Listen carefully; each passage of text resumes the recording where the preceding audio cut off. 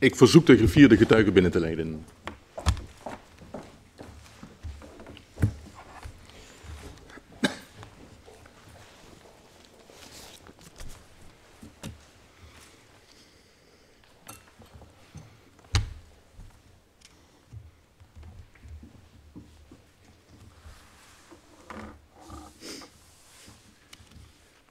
Het ziet best grappig uit als ik u zo allemaal van deze kant.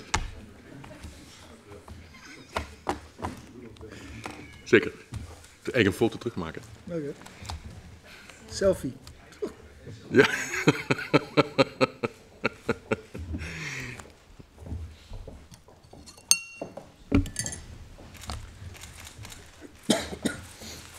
Goedemiddag.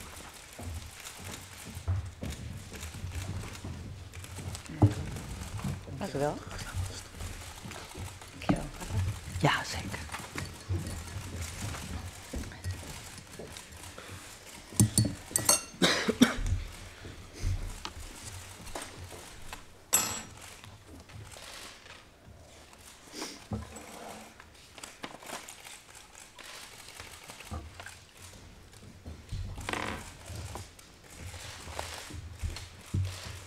Nou jongens, zo is het wel genoeg lijkt me.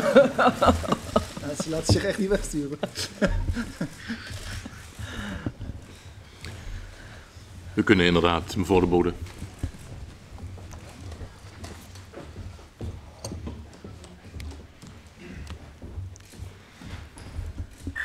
Zo, goedemorgen is het nog steeds. Ik zei net goedemiddag. Ik eh, open deze vergadering. Aan de orde is het openbaar voor van mevrouw Vogelaar. Mevrouw Vogelaar, welkom Dank u wel. bij onze parlementaire enquêtecommissie woningcorporaties. Wij doen onderzoek naar opzet en werking van het hele stelsel van die corporaties. We kijken dus ook naar incidenten, om te kunnen oordelen of die daaruit voortvloeien uit het stelsel. En ehm, wat wij vandaag vooral doen is kijken naar de rol van de regering. Er waren verschillende bewindspersonen die zich bezighielden met het dossier van de corporaties en de sociale volkshuisvesting. We kijken ook natuurlijk naar de rol van het parlement. Maar nu concentreren we ons wederom op de regering. En daarom, mevrouw Vogelaar, bent u opgeroepen als getuige. En ehm, dit verhoor met u vindt plaats onder Ede. U koos voor de belofte om de gehele waarheid, dat u de gehele waarheid en niets dan de waarheid zult zeggen. Als u even wilt staan, als dat kan tenminste. Ja hoor, Als u mij nazegt, dat beloof ik. Dat beloof ik. U staat onder Ede. Neemt u plaats, mevrouw Vogelaar.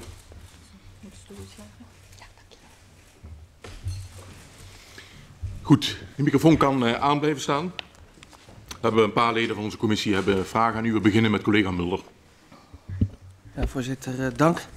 En mevrouw Vogelaar, de commissie heeft u uitgenodigd omdat u in het kabinet Balkenende 4 bijna twee jaar minister was voor Wonen, Wijk en Integratie. U werd door uw partijleider, de heer Bos, eh, verwelkomd als powerhouse Vogelaar. En onder uw leiding startte de wijkaanpak in 40 wijken. U heeft in uw periode als minister lang onderhandeld met branchevereniging EDES over de inzet van corporaties eh, voor de wijkaanpak. U voerde uiteindelijk een eh, heffing in en in uw tijd werden corporaties verplicht om over al hun activiteiten vennootschapsbelasting te betalen. Ook kreeg u te maken met een serie incidenten waarvan de perikelen rond het cruiseschip, het stoomschip Rotterdam, het meest tot de verbeelding spreken. En ook dreigde Brussel nog een stokje in het wiel van de corporatiesector te steken. Al met al een roerige tijd, denken we voor u. En daarover willen wij als commissie graag met u eh, spreken en een aantal vragen over eh, stellen. Ehm, op 22 februari 2007 werd u beëdigd als programmaminister voor Wonen, Wijk en Integratie met bijzondere aandacht voor de wijkaanpak. Welke rol zag u weggelegd voor de woningcorporaties? Een belangrijke, want als het gaat om eh, de wijken, eh, de 40 wijken eh, waar het om ging, dan voeren, hebben corporaties daar heel veel bezit en voeren ze daar belangrijke taken uit. Naast de corporaties ook de gemeentes, want het was Mhm. niet alleen iets waar de corporaties mee te maken hebben en hadden, eh, maar ook de gemeente. De gemeente, heb ik heel nadrukkelijk gezegd, die moeten de regie voeren eh, op het lokale niveau in die 40 wijken. En daarnaast ook andere maatschappelijke organisaties, ook het bedrijfsleven, bewoners. Het ging er echt om om zoveel mogelijk partijen bij elkaar te brengen om te zorgen dat er een positieve ontwikkeling in die wijken tot stand zou komen. Toen u minister eh, werd, welke verwachtingen werden er bij u gewekt uh, om minister te worden en over welk uh, budget zou u beschikken? Uh, nou, u weet misschien ook dat het proces van coalitievorming en het, de totstandkoming van een kabinetsploeg, dat dat -hmm.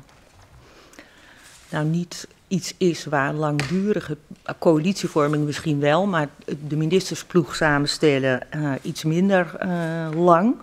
Ik, heb, ik had al heel lang voor uh, dat de verkiezingen van november 2006 aan de orde waren, een keer met Wouter Bos gesproken over de vraag of ik eventueel beschikbaar zou zijn. Daar had ik van gezegd, nou daar wil ik serieus op over nadenken. Ik heb pas vlak voor de verkiezingen, toen de PvdA er niet zo florissant voor stond op dat moment, heb ik hem laten weten dat ik beschikbaar was.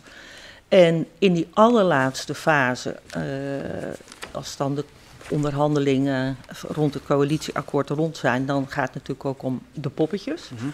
En uh, toen zijn er zelfs meerdere departementen uh, aan de orde geweest waar ik potentieel naartoe zou gaan. En tegen sommigen hebben ik van gezegd van uh, dat lijkt mij niet verstandig, want daar ligt mm -hmm. mijn affiniteit niet. En op het terrein van wonen, wijk en integratie ja. dacht ik, ja, dat heeft veel, het zijn maatschappelijke terreinen waar ik in andere hoedanigheden bestuurlijk ook bij betrokken ben geweest. Dus uh, dat lijkt mij iets waar ik me van kan voorstellen dat ik daar een goede rol kan vervullen. Programma ministerschap was iets nieuws. Dus mm -hmm. toen daar telefonisch contact met uh, Wouter Bos over toen zei ik ja, maar betekent dat dan wel dat ik een eigen begroting heb mm -hmm. en een eigen budget? Mm -hmm. En daar is bevestigend op beantwoord. Toen ik vervolgens de tekst van het regeerakkoord uh, onder ogen kreeg, stonden er in de tekst als zodanig ronkende passages over het belang van de wijkenaanpak. -hmm. Maar uh, de laatste pagina's die lieten het financiële plaatje zien. En daaruit bleek uh, dat de uitspraak van nee, je beschikt over budget mm -hmm. en een, uh, om dat ook te gaan doen op jouw begroting, dat dat niet bleek te kloppen.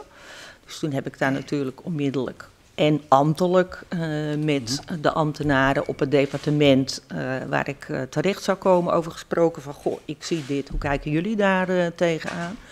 Nou, die deelde mijn conclusie dat dat allemaal niet nee. erg florisant eruit zag. En daar heb ik dus bij het constituerend beraad een punt van gemaakt. Ja. Dus u had de verwachting dat u een eigen budget zou hebben? Wanneer hoorde u voor het eerst dat dat niet het geval was? Want we nou, hebben begrepen ik... dat u bent gebeld door voormalig minister Winsemius hierover. Ik kan me niet herinneren dat ik daar uh, door hem over gebeld ben, maar uh, hij was nog vigerend minister en mm -hmm. ambtelijk. Uh, en heb ik ook begrepen dat Winsemius nauwe contacten onderhield mm -hmm. met de partijen die aan het onderhandelen waren om input te geven over de wijkenaanpak, de paragraaf en ook de financiële onderbouwing daarvoor. En het was mij bekend, van in ieder geval vanuit de ambtenaren, of ik ja. ook persoonlijk met Winsemius in die fase over heb gesproken. Dat zou kunnen, maar dat durf ik niet met zekerheid te zeggen. Ik begreep uit zijn verhoor dat hij een blauwe brief naar Wouter Bos heeft mm -hmm. gestuurd. Ja. Die heb ik in ieder geval toen niet gezien. Ik heb mm -hmm. hem wel uh, naar aanleiding van uh, zijn opmerking gevraagd of ik hem alsnog in kon zien. En ik heb hem dus sinds maandag heb ik die brief onder ogen gehad. Kijk. Um, dus u werd gewaarschuwd door uw ambtenaren dat er geen budget was? Nou, ik had het zelf al geconstateerd ja. en heb gevraagd aan mijn ambtenaren, klopt mijn constatering? En ja. die bevestigde ja. dat. Was dat een rekenfout in het uh, coalitieakkoord? Ja, dat vind ik. Uh, ik, ik zou willen dat uh, Winsemius met die constatering uh, gelijk heeft, maar ik weet het gewoon niet. ik kan daar absoluut geen uitspraak over doen, omdat mij nooit duidelijk is geworden, ook niet door de minister van Financiën, Bos, over hoe dit zo heeft kunnen gebeuren. Is u nooit duidelijk geworden? Nee, de verklaring waarom. Ik bedoel, en daar kan je dan op een gegeven moment Want je bent natuurlijk toch nieuwsgierig. En dan denk hoe kan, je, hoe kan het nou dat als je zo'n prominente plek, hè, Mhm. niet alleen in het regeerakkoord, maar het was ook het paradepaardje in de verkiezingscampagne Ja. van de PvdA, die wijkenaanpak. En je vraagt daar vervolgens een minister eh, voor, om daar eh, een PvdA-minister voor. Je claimt die portefeuille ook nog. Dan Mhm. denk je, nou, dan zou je dat toch een beetje fatsoenlijk geregeld hebben. Eh, dat is mij nooit helder geworden wat daar nu is gebeurd. En of het dus een rekenfout is die over het hoofd is gezien of een bewuste keuze. Daar kan ik u geen antwoord op geven. Heeft de minister van Financiën u wel verteld, beste mevrouw Vogelaar, of beste Ella, er is een rekenfout gemaakt? Is dat ooit gebeurd? Nee, in die termen is er niet over gesproken. In andere termen wel? Nou ja, in de term van eh, de constatering. Kijk, wa- waar het natuurlijk. Bedoel, waar het om ging, is dat er gesuggereerd werd Mhm. alsof de heffing voor de corporaties. dat dat besteed zou worden aan de wijkenaanpak. Mhm. Maar feitelijk was dat niet het geval. Er werd gewoon vier keer 750 miljoen ingeboekt in de meerjarenraming. Heffing corporaties. Mhm. Maar dat zag je aan de andere kant Nee. niet op mijn begroting terugkomen. Nee, dat bleek dus gewoon. Ik heb later gezegd, ja, dat is, ging gewoon naar de schatkist, naar de minister van Financiën. En dat werd gebruikt om de andere extra uitgaven die eh, het kabinet eh, in eh, de planning had. Bijvoorbeeld extra geld voor leerkracht of de uitbreiding van de kinderopvang. Of, nou ja, zo kan je, al- je kan alle prioriteiten, hè, dat is niet één op één te herleiden, want het ging naar de schatkist en het gaf dus meer financiële ruimte om andere prioriteiten mee te financieren. Wat deed, u, wat deed u toen u dit wist? U zei, ik ging naar het constituerend beraad. Dat is zeg maar de eerste vergadering van de ministerraad. Wat heeft u daar gedaan? Daar heb ik dus aan de orde gesteld dat eh, ik geconstateerd had dat eh, er geen deugdelijke financiering Mhm. was voor de wijkenaanpak. En eh, dat ik daar nader beraad eh, over wilde om te zorgen dat dat goed geregeld zou worden. Ja. En, En hoe- daar is ja? ja? op gezegd. En daar is over gezegd dat ik met de minister van Financiën dat eh, op zou gaan pakken. En dat we dat samen eh, zouden doen. U spreekt dat ook af met minister Bos om een lijstje op te stellen met oplossingen die uw ministerie ziet voor het budgetprobleem. Ja, en, en niet, dat bedoel dus niet alleen met minister Bos afgesproken, Mhm. dat is in het volledige Ja. kabinet afgesproken. Want een constituerend beraad gaat breder dan Ja. eh, alleen maar een 1-2'tje tussen de betreffende vakminister en de minister van Financiën. En welke oplossingen waren er om het probleem op te lossen die de revue passeerde? Nou, kijk, wat in de onderha- eh, in eh, de support die eh, minister Minsemius op subtiele manier aan Edes had gegeven om hun antwoord aan de samenleving te onderbouwen. En waar die maandag denk ik heel goed van heeft aangegeven hoe die het lijntje politiek had naar de twee woordvoerders van CDA en eh PvdA in de Kamer, zodat zij konden zorgen dat dat ingebracht werd eh, in de coalitiebesprekingen. Daar werd een relatie gelegd door, door een eh, lage verlaging van de huurlasten, Mhm. waardoor er minder aan de huurtoeslag uitgegeven zou eh, hoeven te worden. En dat geld, wat vrij dat was geraamd op 450 miljoen als ik het uit mijn hoofd heb, dat zou dan dus gebruikt kunnen worden voor eh, intensivering van de wijken aanpak. Dat was de oplossing van minister Winsemius. We hebben Ja. zojuist van minister Bos gehoord dat dat eigenlijk geen oplossing was, want dat, dat zou ook leiden tot een probleem van de miljard. Nou ja. Ja, maar kijk, het gaat er niet om of het, het gaat erom dat natuurlijk eh, d- dat als je het afzet tegen de begroting die er Ja. lag op basis van het coalitieakkoord, klopt dat natuurlijk, want daar had hij gewoon was Ja. gewoon vier keer 750 miljoen ingeboekt. Eh, en dat was dus een probleem wat opgelost eh, moest worden. Er moesten twee dingen opgelost worden. Namelijk A, eh, dat die heffing van de corporaties, eh, die ges- waar gesuggereerd werd aan de sector, dit is voor de wijken Ja. aanpak, maar die dus gewoon naar de schatkist Ja. ging. Dat gat dus, een- gaf Ja. dus een gat in de begroting. En daarnaast was er het probleem dat er geen geld voor de wijkaanpak was. Precies. Terwijl dat wel eh, in ieder geval aan mij, eh, Ja. men had doen voorkomen aan mij dat dat wel het geval was. En ergens een speerpunt van maken met een lege portemonnee, dat is vaak erg lastig. Dus u noemde als mogelijke oplossingen voor het probleem wat eh, de heer Winsemius schetste. Waren er ook andere oplossingen die de revue passeerden? Ja, er waren ook nog wat mogelijkheden om bepaalde gelden eh, naar voren te halen Mhm. op de begroting. En eh, dan aan het eind te zorgen dat er nog wat een budget rond de ISV bij zou Ja. komen. Nou, zo waren er wat verschillende opties. En pas veel later is dus eh, de optie aan de orde gekomen dat een deel van het gat. eh, wat er dus op de Mhm. Rijksbegroting, dus bij de schatkisten, dat dat via de integrale VPB eh, Ja. naar voren zou komen. Dat is in eerste instantie niet op tafel gelegd, maar gedurende het overleg wat daarover is gevoerd met de minister van Financiën eh, is dat. En want dat heeft zich dus afgespeeld in de periode februari tot, eh, nou zeg maar september. Want toen, heb ik, toen ik de deal met eh Ede sloot, Mhm. toen was dus duidelijk dat er ook een integrale VPB-heffing Daar zou komen komen. we zo meteen nog op. Ja. We gaan eerst naar uw biografie, autobiografie, want daarin zegt u dat u rammelt met uw portefeuille als het budget niet is opgelost voor de installatie van het kabinet. Nou, het probleem was niet opgelost. En waarom heeft u zi- zich dan toch laten installeren? Ja, dat kan je achteraf misschien als eh, naïef eh, kwalificeren.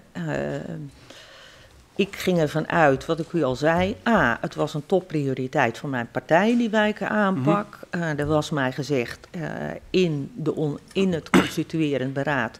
dit gaan we gezamenlijk op een fatsoenlijke manier eh, oplossen. Ja, dan ga ik ervan uit als je met een ploeg zit... en zeker ook, ik bedoel, het was kabinetsbreed, was dat de opvatting. De minister van Financiën ook nog van de eigen partij. Ja. Dat je daar dan serieus aan gaat werken. Ja, achteraf blijkt dat dat misschien eh, een beetje te, eh, nog te naïef is geweest. Maar ja, als je al in die fase al niet van enige vorm van vertrouwen uit kan gaan naar Mhm. elkaar als collega's. Ja. Ja. dan is het wel een beetje lastig werken, denk ik. Vond Ka- ik. Het kabinet gaat eh, na zijn installatie 100 dagen het land in. Is er in die periode nog geprobeerd het budget te regelen? Minister Bos of voormalig minister Bos suggereerde van ja, de minister zou in die periode afspraken hebben kunnen maken met de gemeentes over de aanwending, aanwending van het zogeheten accre van het gemeentefonds. Want dat doen andere ministers ook. dat stond inderdaad Mhm. als eh, iets. Dat stond in de begroting, in Mhm. of in de financiële afspraken, hè, dat er eh, oplopend van 100 tot 400 miljoen Mhm. eh, uit het accre van het Ja. gemeentefonds eh, zou moeten komen. Maar het, en natuurlijk heb ik daar afspraken met gemeentes over gemaakt. Alleen de, de suggestie die gewekt werd, Mhm. alsof ik bij de gemeentes kon gaan collecteren en te zeggen van, geef nou maar weer dat geld wat je in de financiële verhoudingen tussen Rijk en Mhm. gemeentes hebt gehad, terug aan één vakminister. En dat komt dan dus daar op de begroting staan. Dat is natuurlijk gewoon een illusie om te denken dat het in de financiële verhoudingen tussen Rijk en gemeente zo werkt.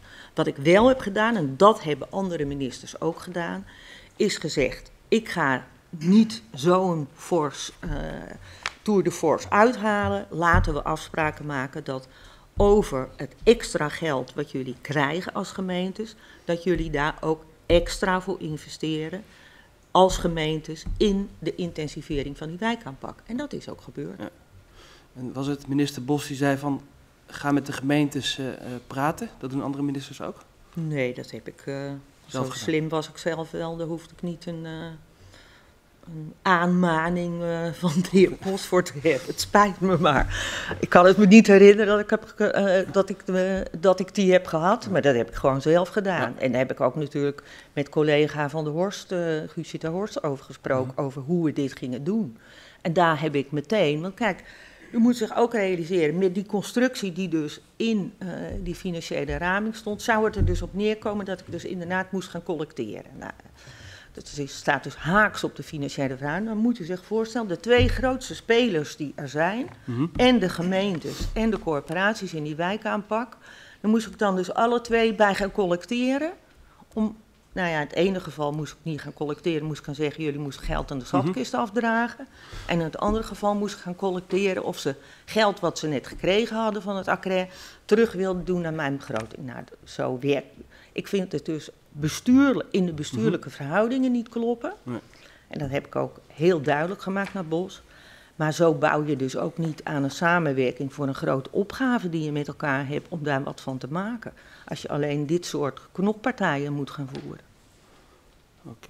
Dus u neemt ook eigenlijk... Ik weet niet, heeft u het verhoor gezien met eh, de heer Bos eh, vanochtend? Ik heb net een heel klein stukje gezien, het laatste staartje, en ving iets op over zijn Ja. redenering op dit punt. Ja, maar dat u dus minder deed dan eh, collega's richting de gemeente, dat vindt u dan onzin? Dat vind ik echt flauwekul. Ik bedoel, ik heb gewoon die afspraak met die gemeentes Ja, gemaakt. alle. En als je kijkt naar eh, de financiering van de wijkactieplannen, daar hebben gemeentes allemaal extra geld. eh, wat ze via het accre en via andere regelingen ook hadden gekregen. Hè, want ook via andere vakdepartementen werden natuurlijk extra middelen beschikbaar gesteld. Voor de brede school, voor eh, sportactiviteit. Nou, bedenk het allemaal maar. eh, werkgelegenheid creëren. Daar heb ik die gemeentes allemaal op aangesproken. Die budgetten die jullie hebben, daar moet je een deel van dus extra investeren. En daar moet je dus prioriteit aan geven, want we spreken met z'n allen af dat er extra prioriteit is voor die 40 wijken. En dan moeten jullie ook je aandeel aan leveren, en dat is gebeurd. Duidelijk. In het regeerakkoord stond dat corporaties 750 miljoen euro per jaar moeten bijdragen. Dat lijkt naar uw ide- idee niet eh, haalbaar. U commenteert zich in april 2007 in de, in ministerraad via de zogeheten mandaatbrief. vervolgens aan de invoering van de integrale vennootschapsbelasting voor corporaties. In ruil voor het intrekken van de betaalbaarheidsheffing, een heffing voor verhuurders die moesten bijdragen aan de kosten van de huurtoeslag. Waarom was u in eerste instantie tegen de invoering van de integrale vennootschapsbelasting? Nou, ik wil even op één punt u toch corrigeren als ik mag. Want u zegt van u was tegen die heffing van 750 miljoen. Ik was ervan overtuigd dat corporaties een financiële bijdrage konden leveren aan de wijkaanpak. Eh, maar ik vond het niet in, ja, bestuurlijk niet correct dat je ze dus aanspreekt op Mhm. hun verantwoordelijkheid voor extra investeren in de wijkaanpak. Eh, maar vervolgens dat in de algemene Ja. schatkist laat vloeien. Daar ging het dispuut over. Eh, en niet zozeer dat ik niet van mening was dat die corporaties. Ik bedoel, het was de tijd dat de Mhm. corporaties, dat stond in alle verkiezingsprogramma's Mhm. eh, voor die verkiezingen van 2006. Iedereen vond het. Hè, er werd letterlijk gezegd, het geld klotst daar tegen de plinten. Dus, en dat bleek ook dat er gewoon een vermogensovermaat was bij de corporaties op dat moment. Dat is allemaal nog voor de financiële crisis, en nu ligt het anders. Mhm. Maar, eh, dus ik vond ook dat ze Ja. flink aan de bak moesten om extra te investeren in die wijken. Ja, dat heeft u eh, eh, nu duidelijk gemaakt. Maar wat vond u van... U was eerst tegen de invoering van de integrale vennootschapsbelasting. Nou ja, kijk, als je kijkt naar de rol van corporaties, ja, dan is het toch op zijn minst twijfelachtig, vind ik, of je kan zeggen dat eh, ook voor eh, de taken die zij in het kader van het eh, maatschappelijk belang, namelijk eh, volkshuisvesting voor een groep met mensen met een smalle beurs. Of je vindt dat voor die activiteiten VBB eh, geheven moet. Dus op zijn minst een punt van discussie. En eh, er is natuurlijk niet voor niets gekozen, een aantal jaren daarvoor, dat er alleen maar een VBB werd gegeven op de commerciële activiteiten van corporaties. En er wordt in het onderwijs wordt er ook geen VBB eh, geheven. En voor zorgactiviteiten wordt er ook geen, geen integrale VBP gegeven. Dus in die lijn lag het niet in eerste instantie voor de hand om te denken van nou, dat gaan we voor deze sector maar wel doen. Uiteindelijk accepteert u het toch? En Ja. gaat u met de integrale eh, VPB, vennootschapsbelasting, de onderhandeling in met EDES over een akkoord over de krachtwijken. Ehm, had u daarmee een, eh, het mandaat, of had u daar het mandaat voor van het kabinet? Ja, absoluut. Er was eh, volstrekt helder dat de VBB Mhm. dat ook, hè, want in eerste instantie, het bijzondere was natuurlijk dat in eerste instantie de minister van Financiën, het ministerie van Financiën, ook niet eh, stond te trappelen voor de VVP. Want kijk, wat, we moest, wat ik moest doen, is ik moest in feite op twee borden gaan. Ik moest aan de ene kant zorgen dat ik eh, tot een eh, overeenstemming kwam met de minister van Financiën over hoe we nou dat probleem op gingen lossen, wat er financieel was. En waar ik me heel goed van heb gerealiseerd dat het ook een financieel probleem voor de minister van Financiën was. En eh, ook voor mij in het kader van mijn wijkaanpak. Hè, dus dat we eh, moesten zoeken hoe we daar op een aanvaardbare manier voor beide partijen uit zouden kunnen komen. Dat aan de ene kant. En aan de andere kant moest ik onderhandelen met EDES om te zorgen dat zij bereid waren om te investeren in eh, die wijkaanpak. Nou, de, wat er uiteindelijk is, eh, uit is gekomen, is aan de ene kant de afspraak eh, dat er VBB integraal geheven zou worden. Dat zou dus een probleem eh, op de schatkist, bij de schatkist voor een deel oplossen. hè, want er was 750 ingeboekt eh, heffing van de corporaties.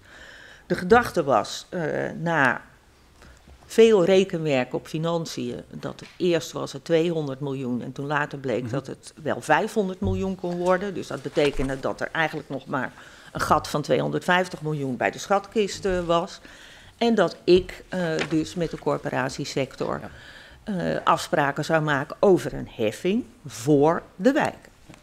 Na die onderhandelingen, wij begrepen vanochtend van de heer Bos dat hij eigenlijk u wel in de gaten hield, omdat het af en toe gebeurde dat u dreigde uw mandaat te overschrijden. Nou ja, dat eh, heb ik eh, nooit van hem gehoord. Eh, heeft hij nooit zo tegen mij gezegd. En het is Hij- inderdaad pikant om dan te horen dat hij mij in de gaten hield. Ik zag Die weten indruk zou je kunnen deed. krijgen, ja. En hij is ook een keer bij de, zendertjes ergens werden opgehangen. dat zijn mijn woorden, maar het dat, niet. dat, Nee, oké. maar hij is ook een keer bij de onderhandelingen komen zitten. Nee, nee, nee, nee, nee. Even voor de precisie. Ik heb op een gegeven moment voorgesteld. Ja? Zal het, is het niet verstandig, omdat ik dus met die Ja? twee partijen aan het onderhandelen was, is het niet verstandig dat we een keer met z'n drieën aan de tafel Mhm. gaan zitten? Dus dat, hij is er niet bij gekomen. Ik heb dat voorstel gedaan. Aan tafel gaan zitten. Ja, En wat minister, voormalig minister Bos wonderlijk vond, is dat u niet naast elkaar zit, zoals gebruikelijk is, maar tegenover elkaar. Want u zat na- naast de heer Van Leeuwen, de voorzitter van EDES. Ja, dat vond ik. eh, ik realiseerde me dat aan het eind van die bijeenkomst. eh, dat dat het geval was. En ik vond het ook verwonderlijk. Maar het zei iets over eh, de goede samenwerking, zal ik maar eufemistisch zeggen. die er op dat moment tussen de minister van Financiën en mij was. Ik bedoel, wij waren al. een half jaar met elkaar aan het bakkeleien over hoe we dit financiële probleem op zouden kunnen lossen. En dat ging niet eenvoudig, want eh, er was in eerste instantie niet echt de bereidheid. Ik bedoel, ik heb het niet. Wat, wat ik er jammer aan vind, is dat ik denk van. Op zo'n moment zou je toch eh, als volwassen mensen met beide onderscheiden verantwoordelijkheden moeten zeggen van. eh, we hebben hier een groot probleem. Dat is een probleem dat voor een deel op het bordje van de minister van Financiën, voor een deel op mijn bordje ligt. Hoe lossen we dit op een verstandige manier met elkaar op? En eh, nou ja, in zo'n constructieve relatie heb ik in ieder geval heel erg gemist. En het is meer touwtrekken en bakkeleien geweest dan een beetje productief en creatief nadenken. We hebben een gezamenlijk probleem, laten we dit oplossen voor het belang van de samenleving en eh, U noemt het bakkelei. vaderland, zal ik maar zeggen. Maar de heer Bos zei vanochtend over uw eh, wijze van onderhandelingen. De welwillende interpretatie is dat ze de grenzen van haar mandaat heeft opgezocht. Nou ja, ik zou niet weten waar dat... eh, Herkent u niet? Nou ja, kijk, nou ja, ik weet niet wat je mandaat opzoeken is. Ik ben er, eh, ik ben er stevig in over gaan onderhandelen dat ik vond dat eh, die heffing, zoals die... Ik bedoel, we hadden een afspraak in het constituerend beraad. Deze financierings, financiële grondslag voor de eh wijkenaanpak, die klopt niet. En eh, dat was dus mijn vertrekpunt. Er moet geld voor de wijkaanpak komen, ook een stukje op mijn begroting. En de corporaties moeten dat ook doen, moeten daar ook een bijdrage aan leveren, net zo goed als de gemeentes, maar niet via de lijn van een algemene heffing.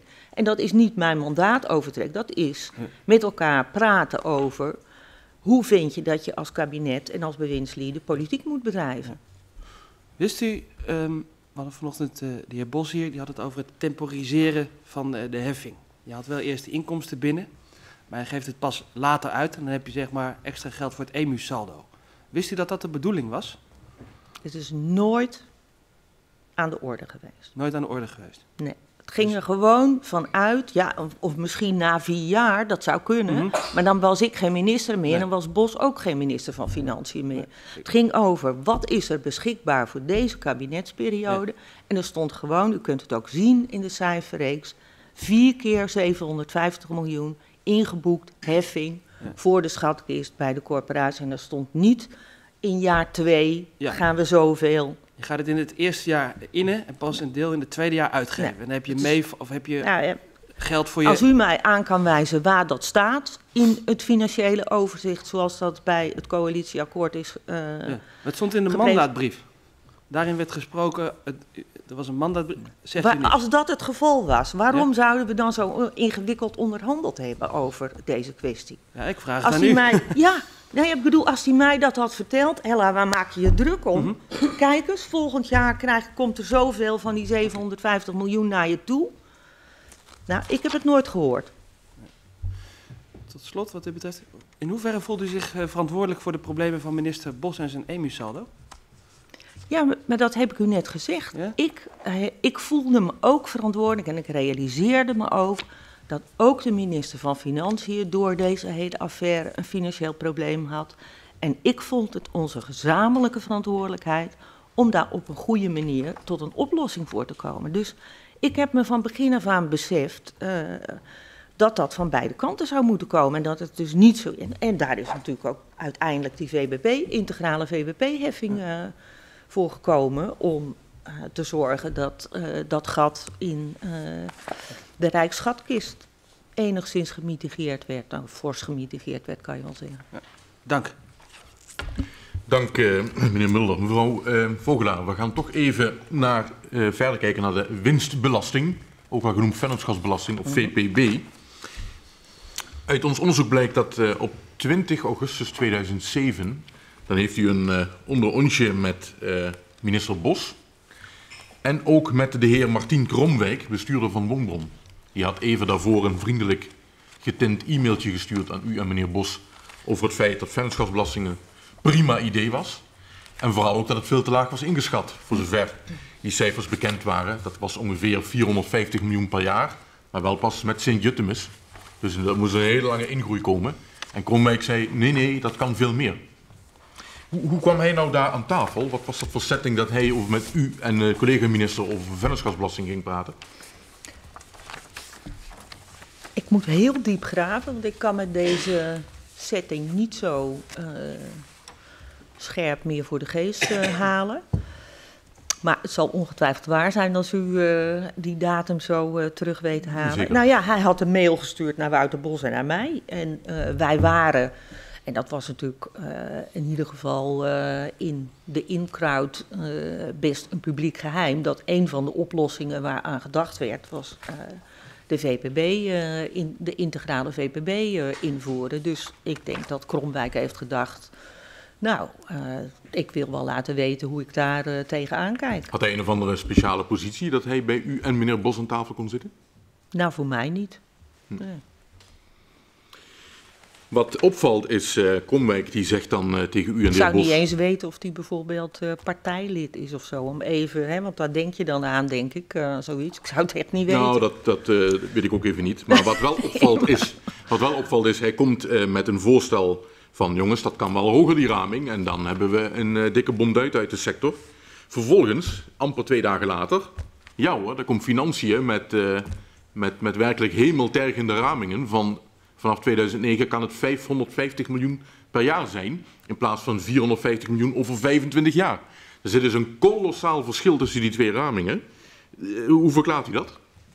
Dat kan ik u niet verklaren. Dat moet u uh, aan de de heer Bos, maar daar heeft, ik neem aan, ik heb het niet voor gezien, ik neem aan dat u dat aan hem uh, heeft gevraagd. U was ik niet sceptisch om, om zo'n... Uh... Ik was daar ook verbaasd over. Uh, dat, want kijk, dat, in eerste instantie ging het over ramingen van, die van financiën kwamen van 200 miljoen. En dat veranderde, ik weet niet of het in zo'n korte tijd veranderde, maar op een gegeven moment veranderde dat in een raming van iets meer dan 500 miljoen, als ik het me goed herinner. Ja, ja. Ja, per jaar hebben we het over. Was u daar en natuurlijk wel mee? opleek. Nou ja, ik bedoel, als uh, de rekenmeesters van financiën met dat soort bedragen komen en we zitten te zoeken naar oplossingen uh, om het uh, gat op de schatkist te zorgen dat dat kleiner wordt, dan ben ik niet degene, vind ik, die moet zeggen van, is, ja, kan zeggen van, is dit wel goed doorgerekend? Maar ik denk, als dit de oplossing is en als dat echt zo is, nou...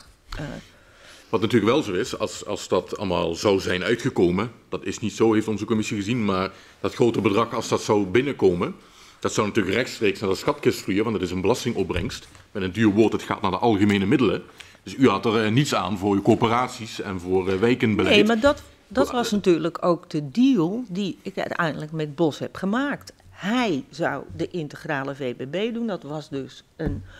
Uh, zorgen dat dat gat op de Rijksfinanciën mm. uh, dat dat lager zou worden. En ik zou die 250 miljoen, als u 500 en 250 bij elkaar optelt, komt u aan 750 heffing. Hè, wat in, oorspronkelijk in. Dus uh, de veronderstelling was, met deze deal halen we hetzelfde bedrag in de corporatiesector op.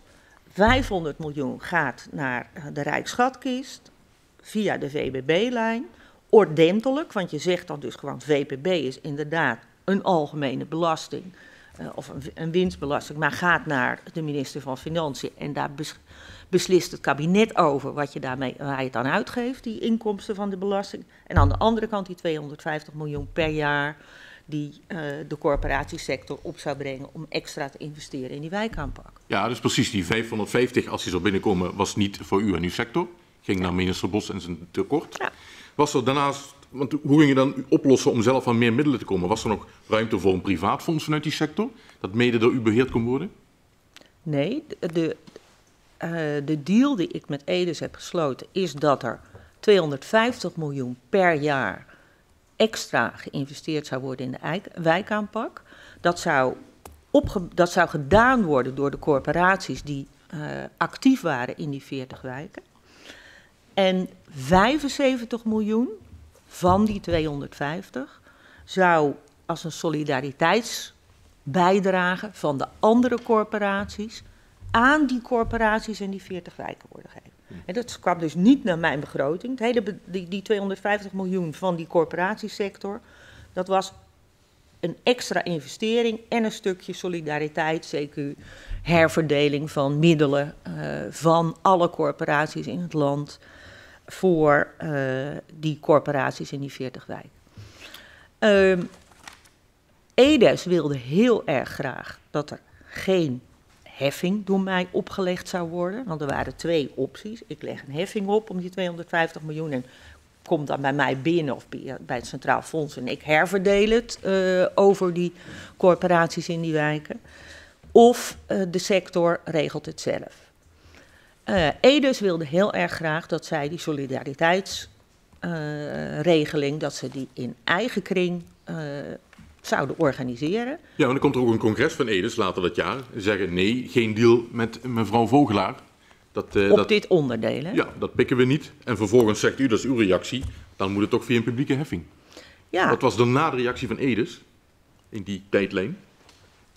Nou ja, natuurlijk, ze waren niet not amused met die, uh, dat ik uiteindelijk die heffing besloot. Maar ja, kijk, het is van tweeën één. Ik uh, ben absoluut uh, iemand die vindt als een sector iets zelf wil regelen, dan wil ik ze daar de gelegenheid toe bieden.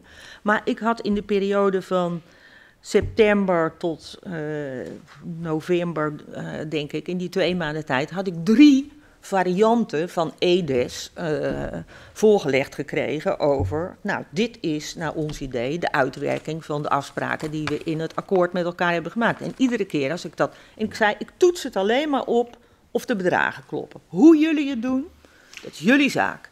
En ik moest steeds constateren dat het gewoon niet klopte uh, wat ze voorlegden met de afspraken die we hebben gemaakt. Ja, op een gegeven moment houdt het op. Want wij dus hebben gezegd, dat... moet mijn verantwoordelijkheid nemen. En nu komt er dus de heffing van de projectsteun. We hebben begrepen van eh, de heer Van Leven, die hier ook is geweest, dat hij... eh, ja, not amused is echt een understatement. Hij was eh, eh, woedend. En hij, hij ging er eigenlijk vanuit dat het toch wel een deal was dat die publieke heffing er niet zou komen. Heeft u dan ergens die suggestie gewekt in contacten met Edis of Nee. Van Leeuwen? Absoluut niet. Het was volstrekt helder dat er extra geïnvesteerd moest worden in wijkaanpak. Ik heb ze royaal de gelegenheid gegeven om eh, dat in eigen kring te regelen, zal ik maar zeggen. Eh, ja, en als dat tot drie keer aan toe blijkt niet te lukken en het congres zegt dan ook nog een keer, dit doen we niet. Ja, dan, eh, en natuurlijk begrijp ik dat dat voor de positie van een voorzitter van zo'n brancheorganisatie niet een aantrekkelijke positie is. Want je denkt dat je een deal hebt met een minister. Ik bedoel, ik ging terug naar de Kamer en daar ging het ook niet eh, dat iedereen meteen stond te klappen van eh, dit is het. Maar ik heb wel de steun van de Kamer gekregen om te zeggen, dit akkoord, een minister, ga je gang. Nou, hij stond voor diezelfde opgave in zijn, bij zijn Mhm. eigen achterban, hè, want het was een onderhandelaarsakkoord, wat bevestigd moet worden door het Edes-congres. En ik moest er overleg Mhm. over voeren met de Tweede Kamer. Ja, en ik kan alleen maar constateren dat eh, dat aan de kant van Edes niet is gelukt. En minister Bos, want het, de publieke heffing wil zeggen, eh, het beheer komt toch weer bij het Rijk. Was die, eh, was die eh, rouwig over het niet bereiken van een akkoord met Edis? En dus publieke heffing als gevolg? Ik weet niet of die daar wel of niet rouwig over was. Ik heb gewoon eh, eh, onmiddellijk, eh, eh, in no- ik dacht dat november was, maar daar wil ik vanaf blijven, eh, gezegd, dan gaan we over tot een, tot, een publieke heffing. En ik, ik zou niet weten wat hij eh, daarvoor problemen heeft. Het was gewoon een bestaand instrument, projectsteun, wat het Centraal Fonds voor de Volkshuisvesting eh, toe kan passen. En ik bedoel, ik was wel zo verstandig geweest om van begin af aan. Dus in die zin begrijp ik ook echt absoluut niet dat Ede zegt dat dit eh, alsof dit uit een, als een duvel uit een doosje kwam. Nee. Want ik heb helemaal in dat traject dat zij bezig waren om het zelf te regelen, heb ik tegelijkertijd parallel daaraan met het Centraal Fonds eh, gesprekken gevoerd en gezegd: hou er rekening mee. Als het niet lukt, dan moeten jullie klaarstaan om die heffing eh, te doen. En, Duidelijk. In ieder geval ehm, heeft hij net tegen collega Mulder al gezegd dat hij, zich, dat hij niet wist dat dat geld vertraagd zou mogen worden uitgegeven, hè, in verband met die temporisering. Ja, maar ik, twij- ik wist het niet, maar ik twijfelde dus ook aan, want op grond van de financiële ramingen stel ik vast dat ik het nergens tegenkom. Dat hebben we net besproken. Had u wel een reactie verwacht vanuit de sector dat corporaties zouden gaan spelen met het idee om uit de, de, de, het stelsel te treden, het zogenaamde opting-out, als reactie op VPB en publieke heffing? Nou, eh, het het is natuurlijk eh, niet voor het eerst dat dat eh, oppopte in de sector. Ik geloof dat dat al wel een aantal keren in de geschiedenis vaker aan de orde is geweest. eh, dat er corporaties eh, van opvatting waren dat ze maar beter uit het stelsel eh, konden gaan. En ja, ik was daar eh, heel van eh, klip en klaar over. Eh, dat kan gewoon niet. Je kan eruit, maar dan word je als organisatie opgeheven. En, en dan komt het maatschappelijk vermogen wat er in de corporatie is, komt eh, terug naar de sector. Waarom was hij daar zo zeker over? Nou ja, omdat dat gewoon heel duidelijk in de wetgeving is eh, vastgelegd. En Dat, adviseerde iemand daarover? ja, we hebben zelfs de landsadvocaat eh, daar nog. Want ik bedoel, ik was er vrij zeker van. Maar natuurlijk eh, zorg je wel dat dat gecheckt wordt. Dus er is echt de landsadvocaat eh, in de arm genomen om eh, dat nog een keer ook aan zijn kant te checken. Of hij die zienswijze deelde. En dat was het geval. En nou, dat is later ook gebleken Hmm. eh, met de eh, juridische procedures die daarover over gevoerd zijn. Ja, en dan moet je wel een beetje stevig in je schoenen staan. Ik bedoel, ik herinner me nog dat eh, de directeur van de betreffende corporatie eh, met eh, externe adviseurs, economen van naam en faam, dan bij je aan de tafel schuiven en zeggen dat je het toch echt niet goed ziet en dat dit wel duidelijk is dat dit gaat gebeuren. En ook financiën was ervan overtuigd dat het niet kon. Opting-out met meenemen van de spullen. Ik kan me niet herinneren dat daar een eh, debat met eh, financiën over is eh, geweest. Dat, volgens mij hebben wij dat gewoon eh, binnen Dan, ons eigen departement Dan afgehandeld. ga ik weer even terug naar collega Mulder. Iets wat ons uh, vanochtend uh, opviel op, uh, in het voor met de heer Bos. Die verklaarde dat hij, hij als minister van Financiën uiteindelijk de vol, het volle miljard heeft betaald. 500 miljoen wist hij op te lossen binnen de kaders. En 500 miljoen via de vennootschapsbelasting, die bovendien niet binnenkwam. Hij vond dat u en de sector niet mochten klagen. Wat vindt u daarvan? Ja, hij heeft de politieke verantwoordelijkheid, denk ik, als die uh, 500 miljoen vennootschapsbelasting mm -hmm. inboekt. Uh, dat hij zich er dan van verzekert als minister van Financiën dat dat ook uh, gaat gebeuren. Ik bedoel, uh, dat hij, ik neem aan dat daar reële inschattingen, dat mm -hmm. het departement van Financiën, dat wordt altijd Zeker. van gezegd dat daar zulke rekenwonders zitten, dat ze dat allemaal heel goed kunnen berekenen.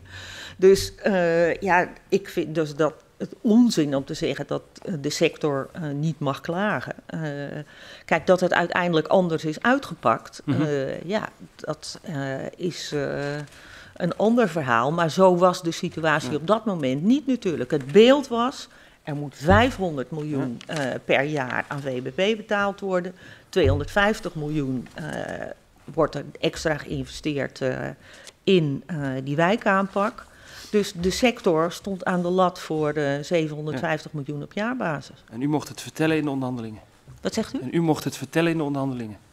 Ja, ja.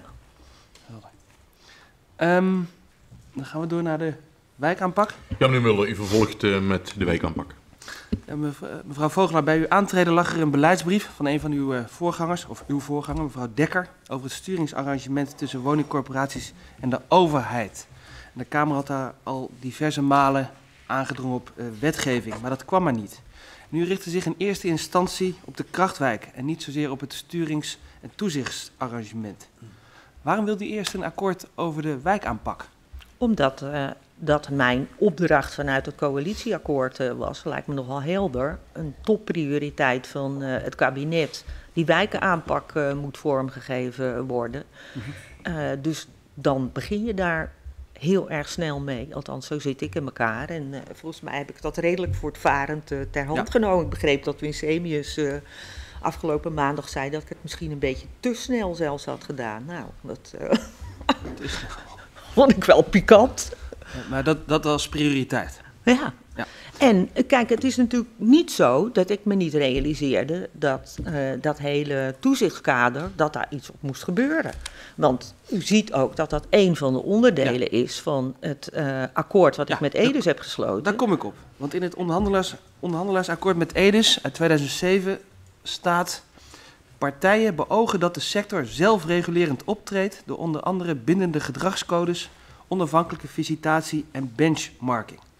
Uitgangspunt daarbij is een transparante governance structuur met professioneel intern toezicht en een goede horizontale verankering.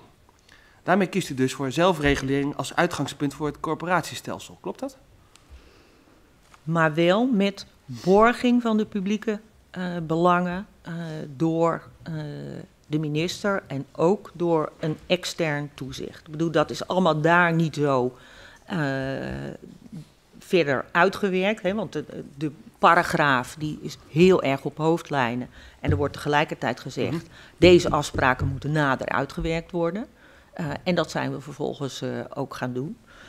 En ja, kijk, een zekere mate van zelfregulering, daar hoeft op zich niks mis mee te zijn. u ziet zelfs ook daar staan dat een governance code bindend voorgeschreven zou worden. Dus het is niet zo van vrijheid, blijheid. Ik bedoel, dat was ten opzichte van zelfregulering, was dat tot op dat moment de situatie. Sectoren maken zelf een governance code en daar staat in pas toe uh, mm-hmm. of uh, leeg uit. Uh, en die niet mee wil doen aan die governance code, die is daar vrij in. Door de afspraak te maken. Nou, die code wordt in ieder geval uh, algemeen verbindend verklaard, betekent dat die voor iedereen uh, geldt en dat er dus geen ontsnappen mogelijk is. Hij kiest voor zelfregulering met ja, bindende bepaalde... gedragscodes. Voormalig minister Remkes zei hier van ja, als je dat doet, ja. bij zo'n het algemeen verbindend verklaren van zo'n code, is één iemand afwezig en dat is het algemeen belang. Nee, natuurlijk niet. Want het algemeen verbindend verklaren van zo'n code, dat doet de minister. Ja. Dus ik zou niet, begrijp ik niet. Ik bedoel, uh, Ja, als je een sector zelf een code laat uh, opstellen. Ja, maar je gaat natuurlijk niet een code algemeen verbindend verklaren als minister als je zelf niet inhoudelijk daarna gekeken hebt. Ik bedoel, dat lijkt me een beetje zeer onaannemelijk. En als daar dingen in zouden staan of zouden ontbreken waarvan je als minister denkt van, maar dat hoort daar toch echt in thuis, dan ga je daar het gesprek over aan. Je gaat niet blind iets tekenen. Zo zit ik echt niet in elkaar. Um, het functioneren van het interne toezicht staat, als u minister bent, al tien jaar ter discussie. Hè? Allerlei rapporten verschijnen daarover. En toch heeft u vertrouwen in die zelfregulering. Waar was dat op gebaseerd? In, ja, ik wil en, toch echt corrigeren. In een bepaal, op een aantal terreinen zelfregulering. Dus als het gaat om zo'n gedragscode, maar dan bindend, algemeen verbindend verklaard door de minister. Als het gaat op een benchmark die de sector zelf uh, organiseert. Als het gaat om uh, een onafhankelijke visitatie. Dus niet een visitatie door de sector zelf, maar door een onafhankelijk instituut. Want je keurt niet je eigen vlees. Mm -hmm. uh, maar daarnaast dus ook ex onafhankelijk extern toezicht. Niet zo van alles verloopt via zelfregulering. Dat is absoluut niet mijn beeld bij. En dat ziet u ook als, het, uh, als je kijkt naar het rapport van Commissie Meijering. Ja, bedoel, daar kom ik zo op. Zit, daar komt dat ook heel duidelijk in terug. Ja. Um, dan kom ik bij derivaten. Vanaf 1994 waren er in de sector problemen met derivaten en risicovol beleggen. In 2002 was er nog een probleem met uh, woonzorg. En uw voorgangers, de ministers Remkes, Kamp en Dekker, wilden een verplicht treasury treasury-statuut regelen in het BBSH, zeg maar de grondwet voor corporaties. Was u daarvan op de hoogte dat ze dat wilden? Nee.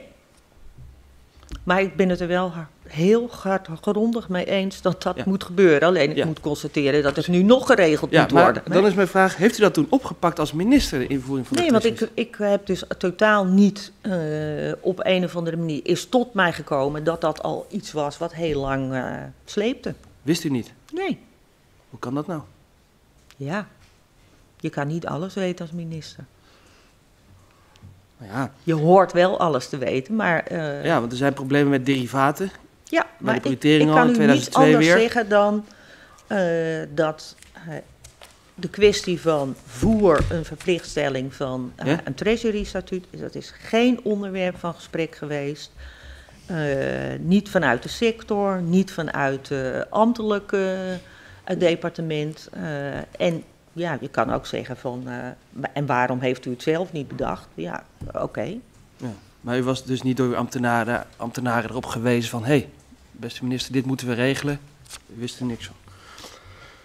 Um, u noemde al de commissie uh, Meijerink, maar daarvoor was er al een Kamermotie van de heer De Pla, onder andere van de Partij van de Arbeid, die vroeg om een nieuw arrangement overheid woningcorporaties. En voordat u minister uh, was, lag er al het nodig op de plank.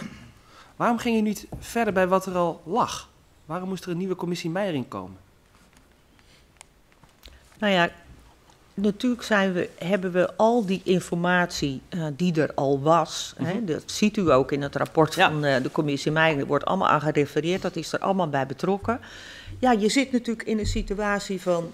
ik heb die afspraak gemaakt over dat uh, onderhandelaarsakkoord met Edes, waarin, je, waarin we in feite hebben afgesproken alle relevante onderwerpen voor de komende vier jaar.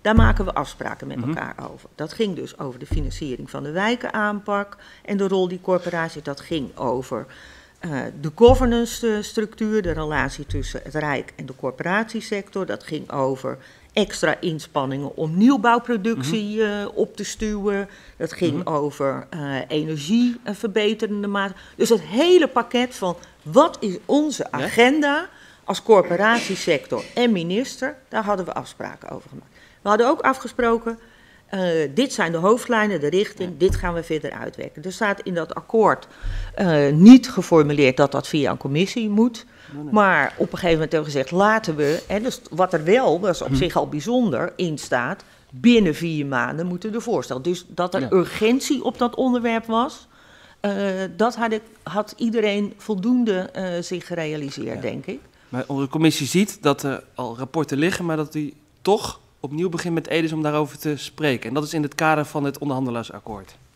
Nee, dat is een uitwerking van het onderhandelaarsakkoord. Ja. Namelijk, we hebben op hoofdlijnen afspraken gemaakt en we gaan die verder concretiseren in hoe die toezichtsrelatie precies geregeld moet worden.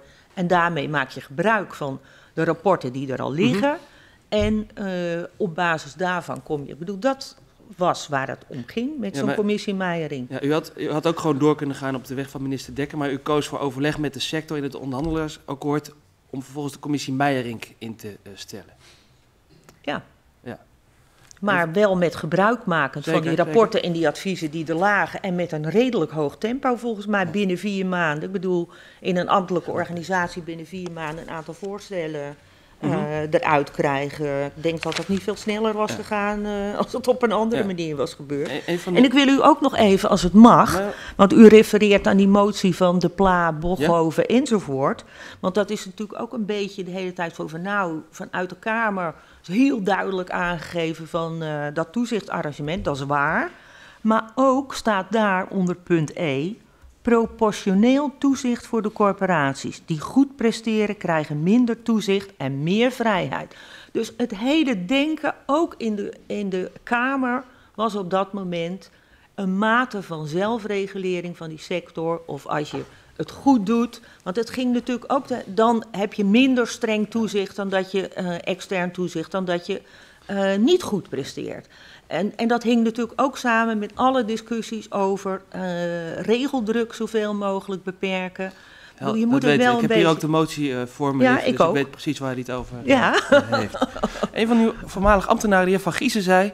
Minister Dekker en ook minister Vogelaar werkten volgens het transactiemodel. En toen wij vroegen, wat is dat? Nou, steeds onderhandelen met EDES. En kan de conclusie, of commissie concluderen dat u, voordat u doorging met het werk van minister Dekker... eerst bent onderhan- gaan onderhandelen met EDES over hoe dat toezicht dan vorm te geven... en dat daar die commissie Meijerink uit voortkwam? Nee, ik heb u net aangegeven. heb een onderhandelaarsakkoord gehad. Ja. waar alle agendapunten die de komende vier jaar. In relatie met de corporatiesector. in benoemd zijn. Met zelfs hele concrete prestatieafspraken op een aantal onderdelen. Want er wordt dan ook vaak gezegd: er wordt geen concrete prestatie. Nou, er staan zelfs getallen in. over wat voor prestaties er geleverd moet worden. als het gaat om nieuwbouwproductie. En dat is redelijk gelukt als u kijkt naar de cijfers eh, die daarop gerealiseerd eh, zijn. Ehm, Maar goed, en daar was dus die, daar was dat toezichtsarrangement Ja. dus een onderdeel van. En op. de suggestie die u wekt, alsof dat, dat ik die afspraak heb gemaakt, dat dat tot enorme vertraging zou hebben geleid Nee. in het realiseren van het toezichtsdossier, ja, dat deel ik echt niet, want eh, daar zat enorm tempo op. onderhandelingsakkoord, daar, sta- daar, daar wordt gesproken over toezicht. En vervolgens, we hadden het al over, komt de commissie Meijerink. En die commissie Meijerink, ja, die gaat nadenken over het eh, toezicht en zou dat inderdaad binnen vier maanden eh, gaan doen. Ze doen er trouwens een jaar over, maar dat terzijde.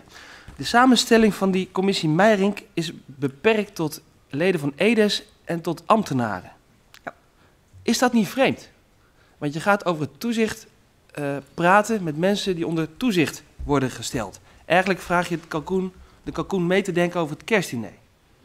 Ja, daar ben ik niet met u eens, want eh, het is volgens mij eh, altijd verstandig om na te denken over hoe, hoe de opvattingen in een sector daarover zijn, hoe je daar als verantwoordelijk bewindspersoon tegenaan kijkt. En dan at the end, ik bedoel, dat is blijkbaar, nou ja, eh, maak je dus als minister zelf je Zeker. mind op eh, over wat je daarmee Maar doet. En het- het was dus niet zo dat ik een blanco cheque heb gegeven en gezegd, nou, eh, gaan jullie je gang als commissie en wat daaruit komt, ik teken bij het kruisje en ik heb er zelf geen opvatting over. Maar u vindt het niet gek dat je gaat nadenken over toezicht in een commissie... en Nou dat je de onder volgens- toezicht gestelde daarover mee laat denken? Nee, want volgens mij ook als je naar andere sectoren kijkt, hoe kan eh, de AFM eh, of de DNB eh, tot een goede toezichtsarrangementen op de pensioensector? Hè? Daar heb ik bijvoorbeeld nu in een verantwoordelijkheid als commissaris mee te maken. Natuurlijk praat zo'n DNB dan met de pensioensector over hoe dat ingericht kan worden. Uiteindelijk ben jij als minister of als toezichthouder uiteindelijk degene die de beslissingen neemt. Maar je probeert een toezichtsarrangement eh, te ontwikkelen, wat ook een beetje werkzaam is en waarvan je denkt dat het een goed re- resultaat en Dus, eh, rendement Helder oplevert. waarom u het zo doet. De vraag is dan waarom staat het Centraal Fonds, de toezichthouder, en bijvoorbeeld de Woonbond, de huurder, waarom staat Ja. dit niet in die Nou, commissie? omdat eh, de ervaring leerde dat het allemaal al ingewikkeld genoeg was. Eh, dus hoe groter je de kring dan maakt, hoe langer het zal gaan duren. En dan realiseer je het dus überhaupt dan niet binnen vier maanden. En er waren ook afspraken gemaakt dat eh, die belanghebbenden eh, wel erbij betrokken zouden worden. Er zijn een aantal werkgroepen geweest waar ze in geparticipeerd hebben. Er is, als ik het me goed herinner, een tweedaagse conferentie geweest waar eh, ze aan hebben deelgenomen. Dus het is niet zo Ja. dat er niet gewerkt is aan ook ophalen wat de opvattingen van die partijen zijn. Maar eigenlijk, je zou dan kunnen zeggen, in de commissie Meijering wordt eigenlijk dooronderhandeld over toezicht tussen de minister en Edes. Niet tussen Edes, eh, tussen de corporatiesector en de minister. Dat is Ja, even Edes, de als representant van, maar niet. Ik bedoel, eh, de, de dus- verhouding is Helder. met de corporaties Ja, en er niet wordt dus met onderhandeld Edes. over toezicht in de commissie Meijering tussen ambtenaren en de onder toezicht gestel. Om met een voorstel Helder. aan mij te komen, een advies over hoe zij denken dat dat op een verstandige manier kan gebeuren. Dank. Dit punt pakken we dadelijk verder op, mevrouw Vogelaar. Ik schors de vergadering voor 10 minuten.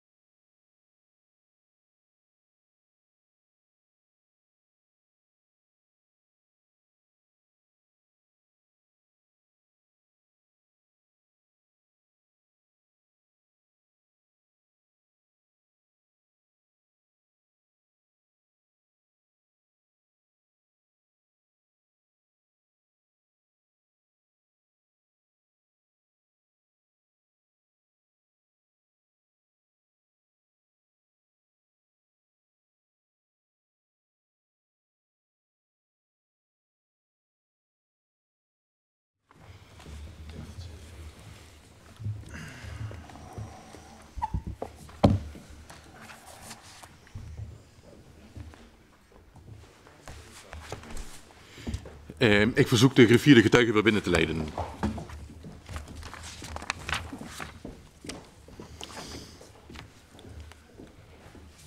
Drie bij. Zijn we al mee begonnen?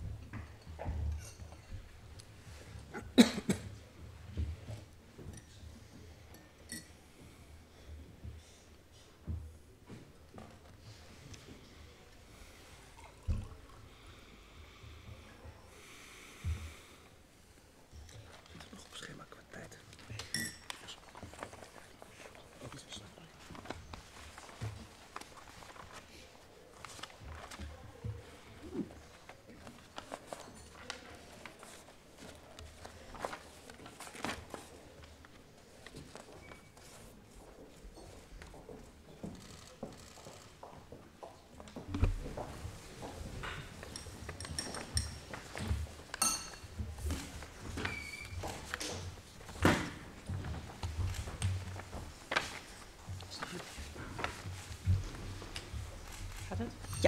Dank u wel. Zo, mevrouw Vogelaar, ik heropen de vergadering en het woord is weer aan collega Mulder. Voorzitter, eh, dank. We waren bij de samenstelling van de commissie Meijerink. Onze commissie is wat verwonderd dat daar de echte onafhankelijke toezichthouder, het Centraal Fonds, niet eh, eh, in zat. Kunt u nog één keer zeggen waarom die daar niet in zat?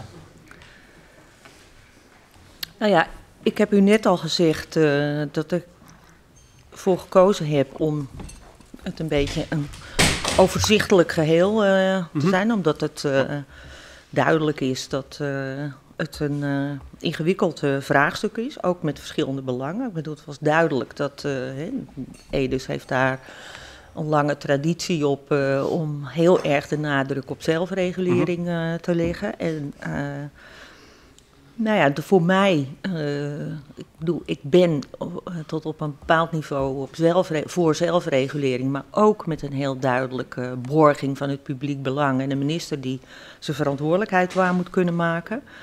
En eh, het leek mij niet zo verstandig om het Centraal Fonds er zelf bij te hebben, omdat het voor een deel ook over hun positie zou gaan.